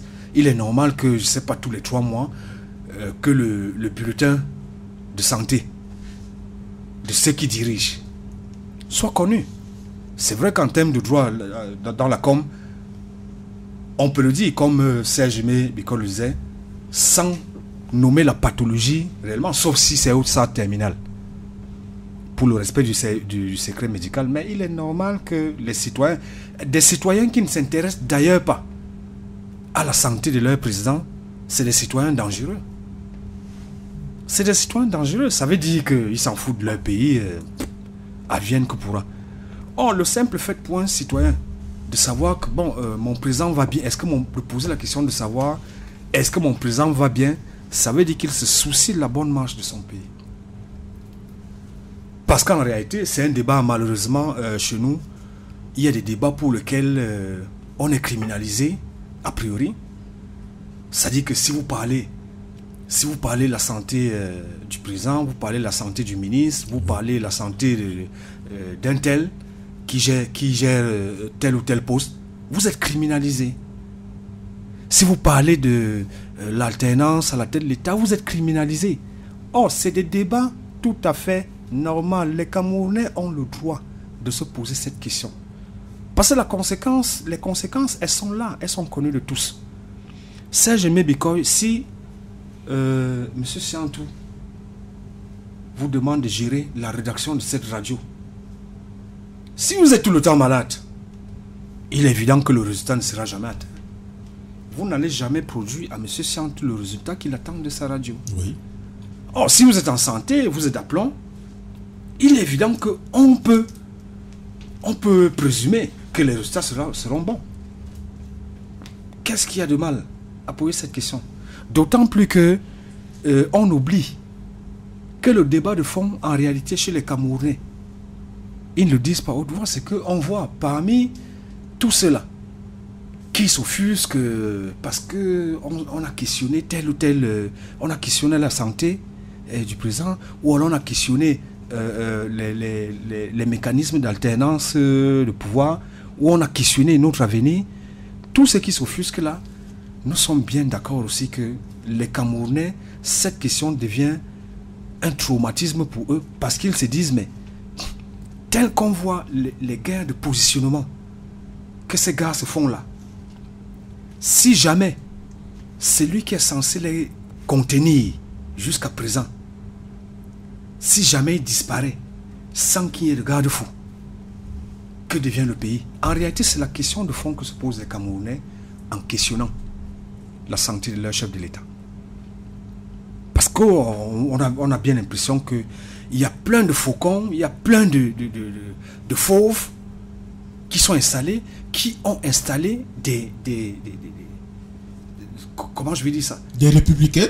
Des républicains tout autour du chef de l'État, ça il faut le dire, c'est ça le mot. Le petit royaume. Hein? Le roitelet. Et dans, qui dans le discours officiel parfois pensent qu'ils peuvent encore tromper les Camerounais en, en disant euh, nous soutenons, c'est nous qui soutenons le chef de l'État, machin, machin. C'est faux. Ça trompe les Camerounais. Et puis Serge, c'est peut-être euh, grossier de le dire ici euh, à Radio Santo. Moi, en tant qu'observateur de la vie publique nationale, chaque fois que l'un de mes compatriotes commence à manifester ou à marquer un soutien trop accentué vis-à-vis du chef de l'État, euh, il devient suspect pour moi. Et pourquoi? Il devient suspect pour moi parce que vous avez vu ceux de nos compatriotes, beaucoup, parmi ceux qui sont dans les geôles aujourd'hui, dans le cadre de l'opération épervier en l'occurrence. Remarquez que au dernier jour, c'était des inconditionnels. hein. C'est des gens euh, à qui, ma foi, le président de la République n'en demandait pas autant. hein. Donc, vous faites cette expérience-là. hein. Je vous suggère cette expérience-là. Observez un peu la scène politique. euh, essayez un peu d'apprécier le degré de clameur que les uns et les autres donnent au président. Et, et vous verrez que chaque fois qu'il y a une ou deux personnes qui commencent à trop aimer le président, il y a quelque chose qu'on veut cacher. C'est une méthode de distraction que, que les gars que quelqu'un met sur pied pour vous détourner de l'objet principal. Parce que je suis de ceux qui pensent que euh, moi, président de la République, la seule façon pour vous, Serge Mebikoy, de me démontrer que vous êtes en phase avec mon agenda politique, Serge, c'est d'implémenter le cahier de charges qui est le vôtre. Serge je, je vous, quand, si je vous nomme ministre là, je ne vous demande pas d'aller faire les meetings. Je vous demande de poser des actes tels, des actes qui parlent d'eux-mêmes. Suivant les attributions. Suivant les qui sont les vôtres. De sorte que, si vous êtes, par exemple, un ministre de l'Agriculture, de sorte que, lorsque, avec le timing que, le cahier nous avons défini dans le cahier de charges, que je ne sais pas, trois ans après, quand on se disait, ok, la production, il y avait un problème, il y a un déficit euh, céréalier au Cameroun, euh, il y a eu un boom de 50-60% sous l'impulsion de Serge Mebikoy. C'est la seule façon pour moi, la prochaine fois que je vais me placer, on va dire, ah, c'est lui qui avait nommé Serge Mebikoy. Automatiquement, les gens savent que les politiques que je que j'énonce sont implémentées et elles sont bénéfiques pour tout le monde. Mais si Serge Mebikoy, moi je vous nomme, et puis le lendemain matin, là, d'abord c'est une grande fête que vous allez aller faire dans votre village. Bon, dès que vous allez revenir, il y aura une fête qui va pointer là. Vous allez acheter les pailles, vous distribuez à tout le monde. Bon, après, les pailles là, euh, bon, on va dire, il ceci. Vous allez prendre beaucoup d'argent, vous allez aller organiser le meeting. Ça, j'aimais because vous ne me servez pas à grand chose. Vous ne me servirez à grand chose. Et c'est ça qu'il s'agit. Et nos compatriotes, pour la plupart, quelqu'un a parlé de démiurges ici, qui ont fini par se prendre pour des démiurges, au lieu de considérer qu'ils sont les mandataires de l'État, que nous, l'État, au nom du président de la République, nous leur avons donné un mandat pour, pour assumer une mission, au lieu de le considérer ainsi, c'est comme ça qu'il c'est comme ça qu'il qu'il dé- dévoie le débat. Et on se retrouve dans des choses telles que Serge Aimé Bikoy, euh, quand vous allez sortir de ce studio, il se trouvera l'un de vos compatriotes ou un gugus, soit qui va vous dire, euh, qui va vous adresser des paroles malveillantes quand vous êtes trop chanceux, soit qui va envoyer quelques sbires là pour vous porter aller passer des heures quelque part, alors qu'il y a des problèmes plus, plus intéressants à gérer. Parce que c'est ça la finalité de toute cette affaire. Quand on est assis à la maison, oh, mais c'est pas possible. Il a osé parler la santé du président de la République. Sacrilège. Sacrilège. Il faut machin, il faut qu'on en finisse. Alors que le même type, on l'attend pour la, pour la résolution de problèmes beaucoup plus importants, On ne le trouve pas là-bas. Mais pour faire du cinéma, il faudra qu'il montre aux gens que c'est lui qui aime le présent plus que tout le monde. Or, en réalité, il est la personne qui sape le plus toute la politique du présent. D'accord.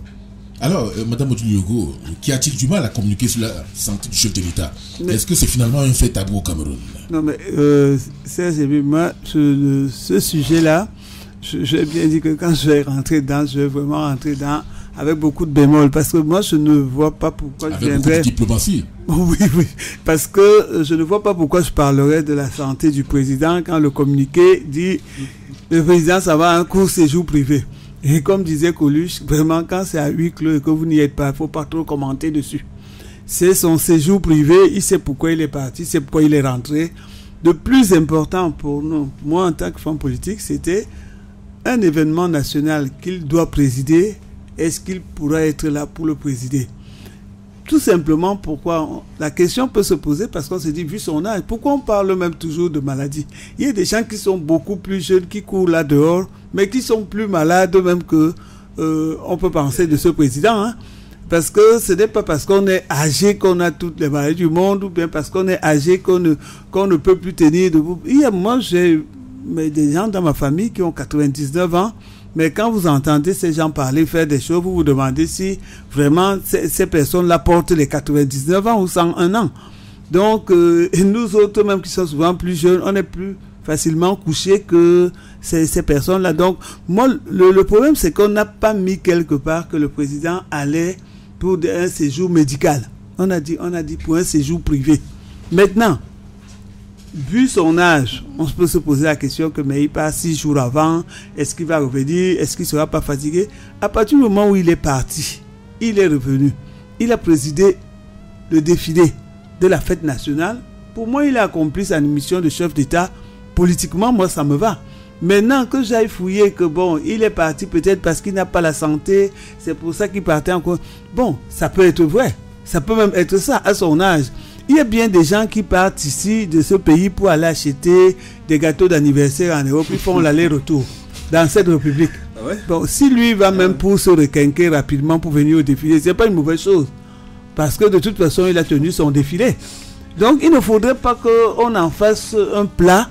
Bon, si Bernard Plaque a, a fait une chronique là-dessus parce qu'il veut soulever le problème de la longévité, ça c'est- normal. C'est c'est- son éditorial qui prenne cet angle-là, comme euh, euh, Maman a souvent pris la République. euh, le- le- le- dans le, le, le, go- le Gondwana, ce qu'il dé- dénonce dedans dépasse même l'éditorial de Placard. hein. Donc, euh, si on laisse passer le Gondwana, chaque fois qu'on écoute tout ce qui se dit, euh, il ne- lui n'a pas mis les noms d'un chef d'État, mais je crois qu'il dénonce assez bien tout ce que nous vivons et tout ce que nous pouvons décrire dans nos républiques, dans nos États. Mais aujourd'hui, que moi je viens disserter sur l'état de santé, alors qu'on n'a pas parlé de son dossier médical, ça me gêne un peu. Maintenant que le ministre vienne dire, bon, pourquoi est-ce qu'on a osé parler de lui Mais moi je suis en train de dire que c'est le ministre de la Communication. Il aurait pu communiquer sur Dicolo aussi, avec la même énergie. Il pourrait, le, le ministre de la Communication devrait venir euh, communiquer sur les enseignants qu'on ne veut plus intégrer. C'est ça aussi le but. C'est-à-dire que pourquoi la communication des ministres doit souvent être, dès qu'on prononce le président, c'est là où ils apparaissent. Voilà le problème qu'on dit, le problème d'Icolo, c'est le problème du MINCAF. Le MINCAF lui-même, lui, ne parle pas. C'est quelqu'un d'autre qui vient parler.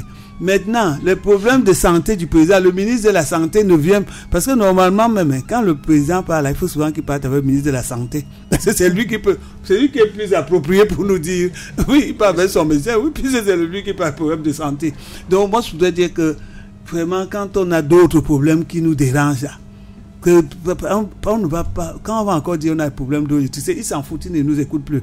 Mais quand on a des problèmes comme des expropriations, où des gens sortent dans la rue, qui se, euh, un problème qui peut embraser tout un tout pays. un pays. Vraiment, ce n'est pas la chronique de Placard là qui va embraser le.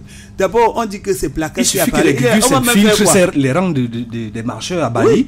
On se retrouve avec, on parle Ben, d'une affaire bon, des que-. Est-ce que, est que la chronique de Placa impacte, impacte sur les marcheurs de Douala, par exemple? Parce que c'était aussi bien. Parce qu'on ne le dit pas assez. hein. C'était aussi bien de voir les gens marcher, disent qu'ils s'en vont marcher pacifiquement pour, pour Dicolo, alors que les marches sont interdites, même pacifiques. Vous voyez que quand la maison du voisin brûle, il ne faut pas allumer ta pipe. Parce que ce qui se passe maintenant, que allons tous marcher parce qu'on ne veut pas qu'on nous exproprie, c'est les, les marches sont interdites. Il fallait rappeler aux gens là que même si vous êtes du R là, habillé en noir, n'allez pas marcher parce que les marches sont interdites. Vous voyez des deux poids, deux mesures. là justement Hein? euh, euh, euh, les- les- les- les- la répression des marches pacifiques à géométrie variable. Parce que c'était une formation politique qui décidait justement d'organiser la marche pour contester euh, la façon dont a été géré justement ce problème. Mais justement, La police aurait sauté sur ces derniers. Mais le, le problème même aussi, et puis tout à l'heure, M. Lingala dit, il faut qu'on le souligne. Nous qui venons sur les plateaux, là, dans les médias, ça nous risque ces périls, hein. Parce que ne pensez pas que la maman se lève, que c'est trop de courage. C'est-à-dire que quand on vient ici, il y a des sujets sur lesquels quand on vient, des gens vous appellent à l'avance que n'osent même pas aller parler. Ne faut même pas y aller. Il y a des gens qui fuient des plateaux parce qu'on court des risques sur nos vies. Les populations là ne savent pas que quand la maman vient ici, les insultes, les menaces, les gens qui sont derrière vous, quand vous entrez chez vous, vous surveillez à droite, à gauche, s'il n'y a pas quelqu'un, de... on prend des risques. Et il faut que les auditeurs et que les populations sachent ça, que ce n'est pas facile pour nous de venir aborder certains sujets, mais on se dit que si on ne les aborde pas, on fait comment? Parce que nous devons apporter notre petite pierre à la construction de ce pays. Ça veut dire que pour y participer, ça veut dire qu'on prend des risques. Tout à l'heure, on a parlé d'expropriation. J'ai oublié de vous dire ça. Moi, j'ai un petit papier hein, qui date de 1913, du temps des Allemands, que mon père m'a laissé. Le, à l'époque, l'État allemand, il doit 1000 marques en ma communauté. Je suis en train de faire des recherches dessus. Je voudrais comprendre que ce petit papier-là, de 1000 marques là, comment ça s'est... C'est vrai que dans mon village, c'est là où il y a eu, était à là, on appelait à l'époque son yogo, c'est là où il y a eu la première école, la première église de la zone et tout, et les Allemands se sont installés là. Donc maintenant, la dette là, parce que c'est écrit une dette, hein, l'État fédéral doit 1000 marques de- depuis 1913. On- Mais on m'a dit faire attention parce que bien les dettes durent 100 ans. Mais je dis ça pour que si des gens nous écoutent et qu'ils ont un peu une idée que d'une dette comme celle-là, parce que est-ce que c'était sur nos terres? Est-ce que c'était donc on a nous-mêmes, nous ne faisons pas, nous ne protégeons pas nos acquis, même ancestraux, parce que s'il y avait une histoire à préserver à l'endroit qu'on est en train de casser là, comme on casse un château de, de, de, cartes, on, on ne se permettrait pas de casser comme ça. Nos terres ancestrales n'ont plus d'histoire, parce que nous voulons Ici, on a dit non. La mode ici, c'est que chacun vend le terrain. Il vend même la tombe de son père une fois. Là, on est fâché parce que c'est quelqu'un d'autre qui est venu casser. Mais combien de gens vendent les terrains avec les tombes de père, de leurs parents, aujourd'hui pour de l'argent?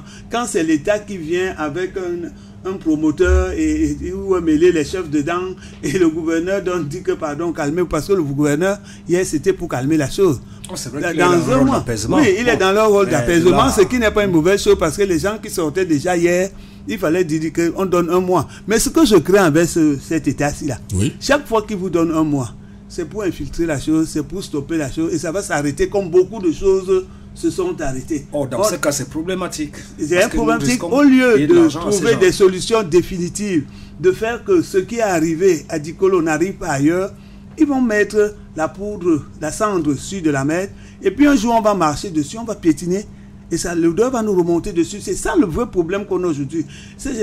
Dicolo n'est pas le premier endroit où on se plaint. qu'on est, mais ce n'est pas le dernier. D'ici la semaine prochaine, vous allez entendre que les Caterpillars sont encore allés exproprier les gens. Donc, quand on ne respecte plus le peuple qui vous a choisi, on peut en faire ce qu'on veut. Parce que c'est ça le vrai problème aujourd'hui. Le vrai problème, c'est que est-ce que ceux qui nous dirigent ont même encore le souci de nos vies?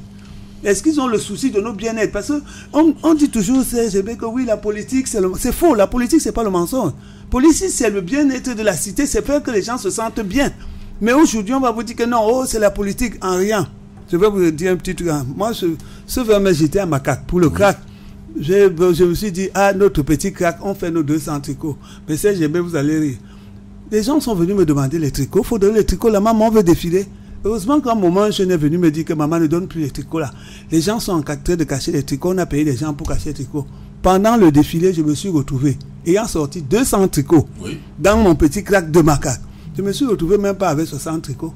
Les gens avaient caché les tricots pour que le crack n'ait pas de visibilité. Et on paye des gens pour poser ce genre d'acte. Et ces populations pour lesquelles moi je viens pleurer, que ce n'est pas normal qu'on vous casse. On a cassé le marché, on a cassé le stade de football, on casse tout, les populations pleurent. C'est ces mêmes gens qui, à qui on donne 500, on donne quelque chose, ils prennent encore le petit tricot du crack, ils cachent. Au lieu de me laisser montrer, mieux vous ne portez pas, mais que de... Et puis quand vous dites ça, quelqu'un vous dit non, mais c'est la politique, hein, la maman, tu vas apprendre les coups de la politique. Et pour faire quoi? Des sales coups, Quand- plus. Bah, oui, mais quand vous, quand vous dites aux gens prenez le tricot de l'autre pour cacher, dans les urnes, vous ne serez plus là. Il va prendre mes tricots, il va cacher aujourd'hui. Mais quand il va comprendre que le, le marché qu'on a cassé là, c'est lui qu'on a cassé. Sa voix qu'il avait donnée, parce que quand il disait aux gens que quand tu vas prendre 2500, tu vas hypothéquer ta vie sur 5 ans, ils n'ont plus le marché. Vous saviez bien qu'à Makaki, il y avait une espèce de tour Eiffel en fer, non? Ce n'est plus. Maintenant, quand vous essayez à Makaka, vous voyez, on dit en français, vous voyez, à perte de vue. Donc, Makaka est devenu là où, quand vous essayez, si vous regardez à perte de vue, comme les champs de tournesol ou de blé de l'Ukraine, que le blé qu'on nous apporte et tout et tout. Donc, moi, je trouve qu'on ne peut pas tricher éternellement avec un peuple. Le problème du Cameroun aujourd'hui, c'est que le président Aïdjo a choisi. Parce qu'il faut que, moi je tenais à répéter, il faut que les gens cessent de nous dire que notre champion qu'on a choisi, non. C'est Aïdjo qui s'est assis seul, qui a dit, je choisis telle personne. Il n'a même pas demandé l'avis de son parti de l'époque. Hein. Il n'a même, les gens étaient même contre. Donc, que les gens là ne soient pas surpris. Hein. Biyazi peut s'asseoir aussi et choisir un jour, sans même tenir compte d'eux. Donc, tout ce que nous voulons lui dire là, c'est qu'en partant, qu'il laisse quelqu'un qui va redresser ce pays, parce que là où le pays est là, ça ne va pas. Alors, Thierry Oui, qu'il laisse. Parce qu'il est temps de laisser. On ne veut- non, moi personnellement, je le dis, hein, monsieur Oliga, je ne suis pas pour pousser dehors quelqu'un qui va inéluctablement sortir, mais qui sorte doucement et qui nous laisse continuer avec ce pays-ci en paix.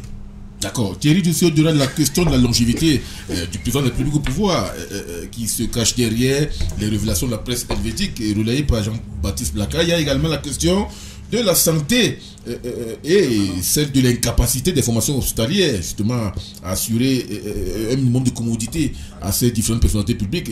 Vous vous souvenez qu'il y a au moins euh, euh, euh, euh, des membres du gouvernement, de même que des, autorités de la République qui sont toujours et qui bénéficient toujours des évacuations sanitaires. Est-ce qu'aujourd'hui il ne faut pas poser le problème de euh, la capacité des formations hospitalières avec Acuité aujourd'hui? Ah, on peut poser la capacité des, informa- des, euh, formations hospitalières, comme on peut même poser aussi la crédibilité des médecins.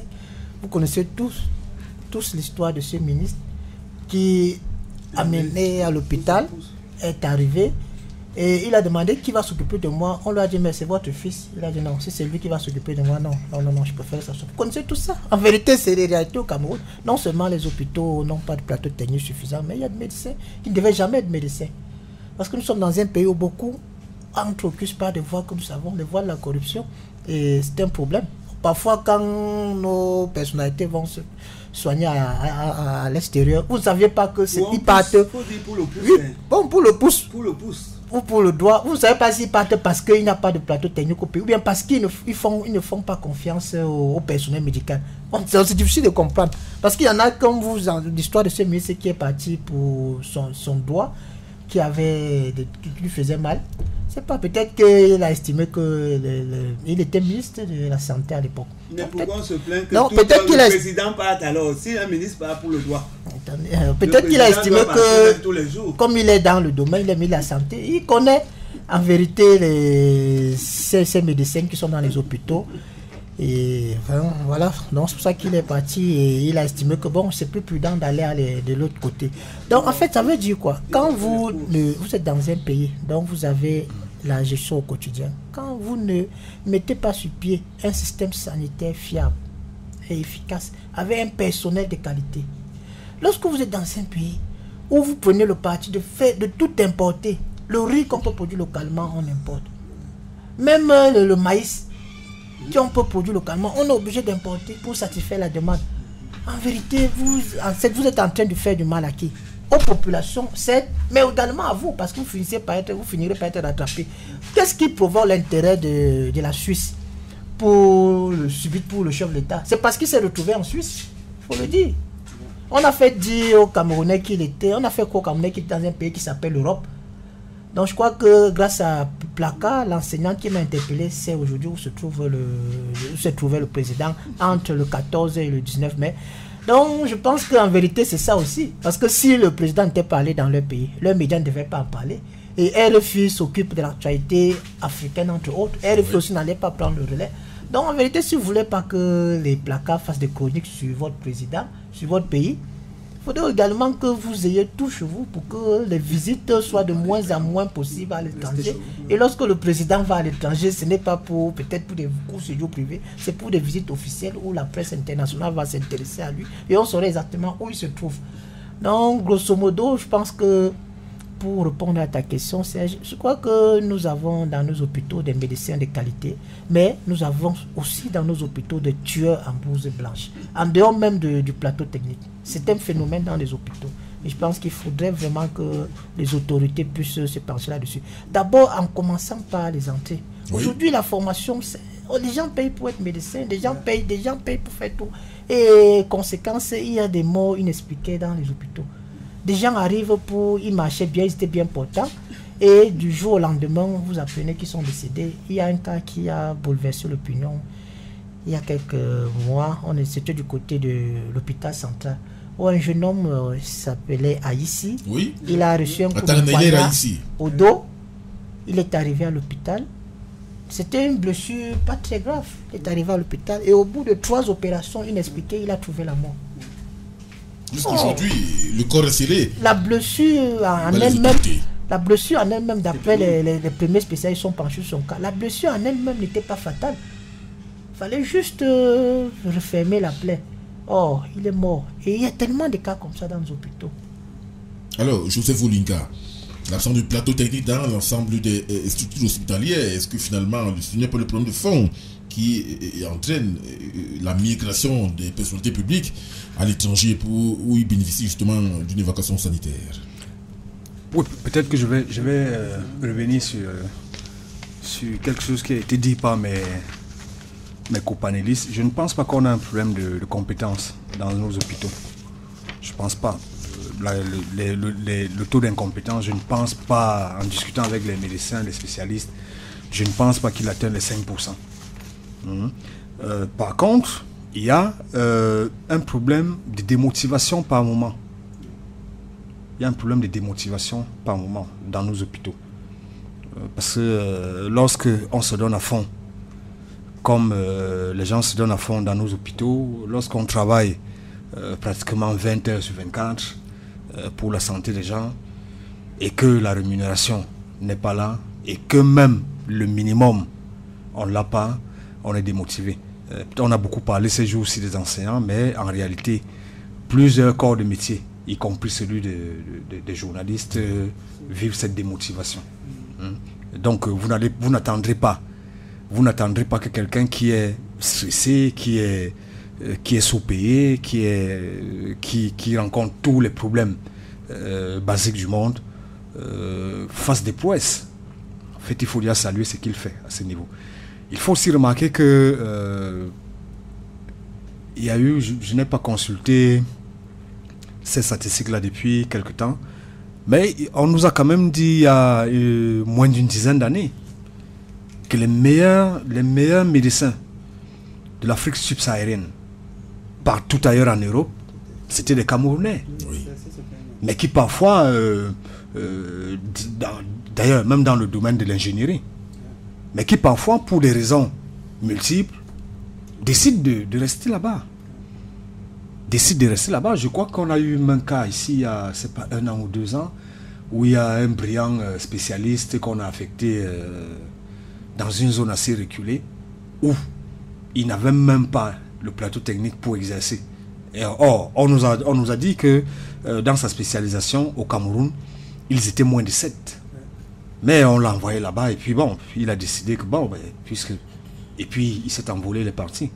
Donc il y a aussi le départ des, des intelligences qui fait que. La fuite des cerveaux. La fuite des cerveaux. On se retrouve euh, parfois avec. euh, parfois avec des plateaux techniques qui sont mais salés, mais euh, dont personne ne maîtrise le, fonctionnement parce que les spécialistes ne sont pas là. Et du coup, vous allez arriver dans, certains hôpitaux, ça c'est les, spécialistes de la médecine eux-mêmes qui me l'ont expliqué, vous allez arriver dans des hôpitaux où un médecin est obligé de faire des choses qu'un spécialiste doit faire. Parce qu'il n'a pas de spécialiste à, bout de main. Donc, pour ces résumés, je pense que ça, ça, ça appelle aussi à la mise en place des politiques. Politiques qu'on met en place, en matière de santé. en matière de santé, il faut prendre ces paramètres-là en compte. Parce que sinon, euh, ceux qui sont les plus nantis vont continuer à aller en Europe pour se soigner. Se soigner. Bon, encore que euh, pour aller en Europe se soigner de plus en plus, il faut montrer patte blanche. Hein, parce que si vous êtes soupçonné de, de n'avoir pas chanté l'hymne la veille, euh, même si vous avez le milliard, on peut vous empêcher d'aller vous faire soigner en Europe. Or, si euh, vous êtes aussi au Cameroun, il y a cet hôpital, vous ne sortez que de chez vous, à la limite, vous prenez un Benskin qui vous laisse à l'hôpital et vous rentrez chez vous. Bon, et puis, euh, euh, qu'on nous dise aussi, hein, bon, est-ce que le fait, est-ce que le fait de penser qu'on va en Europe est en soi une mesure de sécurité? Hein? Je le dis tout simplement. Vous et moi, on a lu, on a lu des histoires et d'autres au plan politique à travers le monde. Alors nous voilà, nous allons chez le voisin, chez les voisins tous les jours pour nous faire soigner. Qu'est-ce qui nous dit que le voisin ne va pas exprès confondre le produit qu'il veut nous injecter et puis qu'on aura des problèmes avec ça? Parce que c'est le même voisin qui est en train de dire qu'en réalité, euh, euh, vous êtes venu chez moi parce que, parce que ça, c'est des signes précurseurs. Le même voisin demain va mettre l'eau euh, euh, avec je sais pas quelle substance dans le truc et nous on va se retrouver dans des problèmes. Donc vraiment, arrêtons aussi d'aller chez les voisins. Restons chez nous. Et donnons-nous des commodités pour être bien chez nous. Parce que tant que nous irons chez les voisins, nous serons traités de la sorte. Alors, Madame Legault, quel message adressez-vous aux autorités officielles relativement à la question de la santé publique dont les politiques doivent être justement mises en vitrine Mais je pense que c'est la RDC, non Où le président avait décrété que les gens ne partent plus se soigner à l'étranger. Je veux que le jeune le Kabila fils. Donc ça veut dire que quand on prend une décision comme celle-là, On se donne les moyens. on se donne les moyens pour que localement, que tout le monde puisse se soigner et être à l'aise. Mais en fait, l'erreur que, que nos dirigeants font souvent, c'est que le dispensaire que vous refusez de construire dans votre village, quand on tombe, on vous enlevez tous les oripeaux de la République, tous les avantages, tous les billets d'avion, vous allez venir au village là, et quand vous allez avoir un petit palu, il n'y aura même pas une petite blessure parce que vous voulez couper une un régime de bananes pour le manger bio. Vous vous êtes coupé le doigt là, il n'y aura même pas un dispensaire pour avoir du mercure comme dans votre propre village. Ça veut dire que moi je ne comprends pas Serge Aimé, comment sur 25 millions de Camerounais, mais là on en a trouvé 4 millions avec les actes de naissance, peut-être que nous sommes déjà 29 millions. Mais si sur 25 millions vous avez la chance que quelqu'un se couche, il rêve de vous. Il dit Serge Aimé, je vous donne un poste. Comme disait M. Olinga tout à l'heure. Mais vous devez être fier de ça et se dire je vais graver mon nom. C'est pour ça que moi oui, moi j'ai toujours dit Mais ma- les gens ne le font ma pas. philosophie de vie depuis que je suis toute petite, moi j'ai toujours toute jeune, j'ai toujours dit l'héritage c'est pas ce qu'on me donne, l'héritage c'est ce que moi je laisse. Et c'est la question que je pose aujourd'hui même à nos dirigeants, même au président de la République, c'est que l'héritage qu'on vous a donné, qu'est-ce que vous allez laisser? Parce que c'est ce que vous allez laisser qui est important aujourd'hui. Si on vous a donné un pays où il n'y avait pas de guerre, il n'y avait pas ceci, même s'il y avait des problèmes, c'était pas à ce niveau. Mais aujourd'hui, est-ce que vous allez partir en laissant le nozo, Boko Haram, les expropriations, pas d'eau, pas de courant Mais il faut pouvoir s'asseoir dans son coin et se dire, mais qu'est-ce que je vais laisser à ces gens? Parce que pour moi, comme je le disais, vous m'avez dit, vous précisez bien que je suis une femme politique. Moi, je ne suis pas pour que quand un président quitte, qu'il aille vivre dehors. Non. Vous allez rester ici. Vous tous, vous allez vivre nos réalités. Si vous ne faites pas la route, vous aussi, vous allez souffrir sur les routes là. S'il n'y a pas d'eau, vous-même, vous allez ouvrir le robinet à un moment. Vous n'aurez pas d'eau. Donc, le, but n'est même pas de dire que oui, quand ils vont finir, ils vont sortir. Non. Personne ne va sortir. Vous allez, ou même vous nous rendez ce que vous avez pris, vous restez. Ou alors, c'est à ce moment qu'on va appliquer le retrait de la nationalité. Oui, c'est-à-dire que si. Parce que quand on enlève même des nationalités aux gens, ceux qui les gardent sont les voleurs de la République. Entre vous qui avez une nationalité, ou bien économique ou affective, et vous œuvrez pour votre pays, et celui qui a gardé la nationalité et qui vole un milliard dans le pays, qui, qui aime ce pays. Donc, même souvent on parle des problèmes de santé là. Est-ce qu'on a encore besoin de dire que non, pour avoir un comprimé, il faut que je quitte de Yaoundé, du village pour venir à Yaoundé. Ils font ça exprès parce qu'ils pensent qu'ils sont éternels là. Mais si vous savez que demain je peux ne pas être ici et que mon petit-fils, ma petite-fille, mon fils, moi-même, je peux être malade dans ce village ou bien j'ai besoin de mettre un enfant à l'école, vous allez mettre toutes les conditions pour que même si vous n'êtes pas là demain, qu'on pense positivement à vous.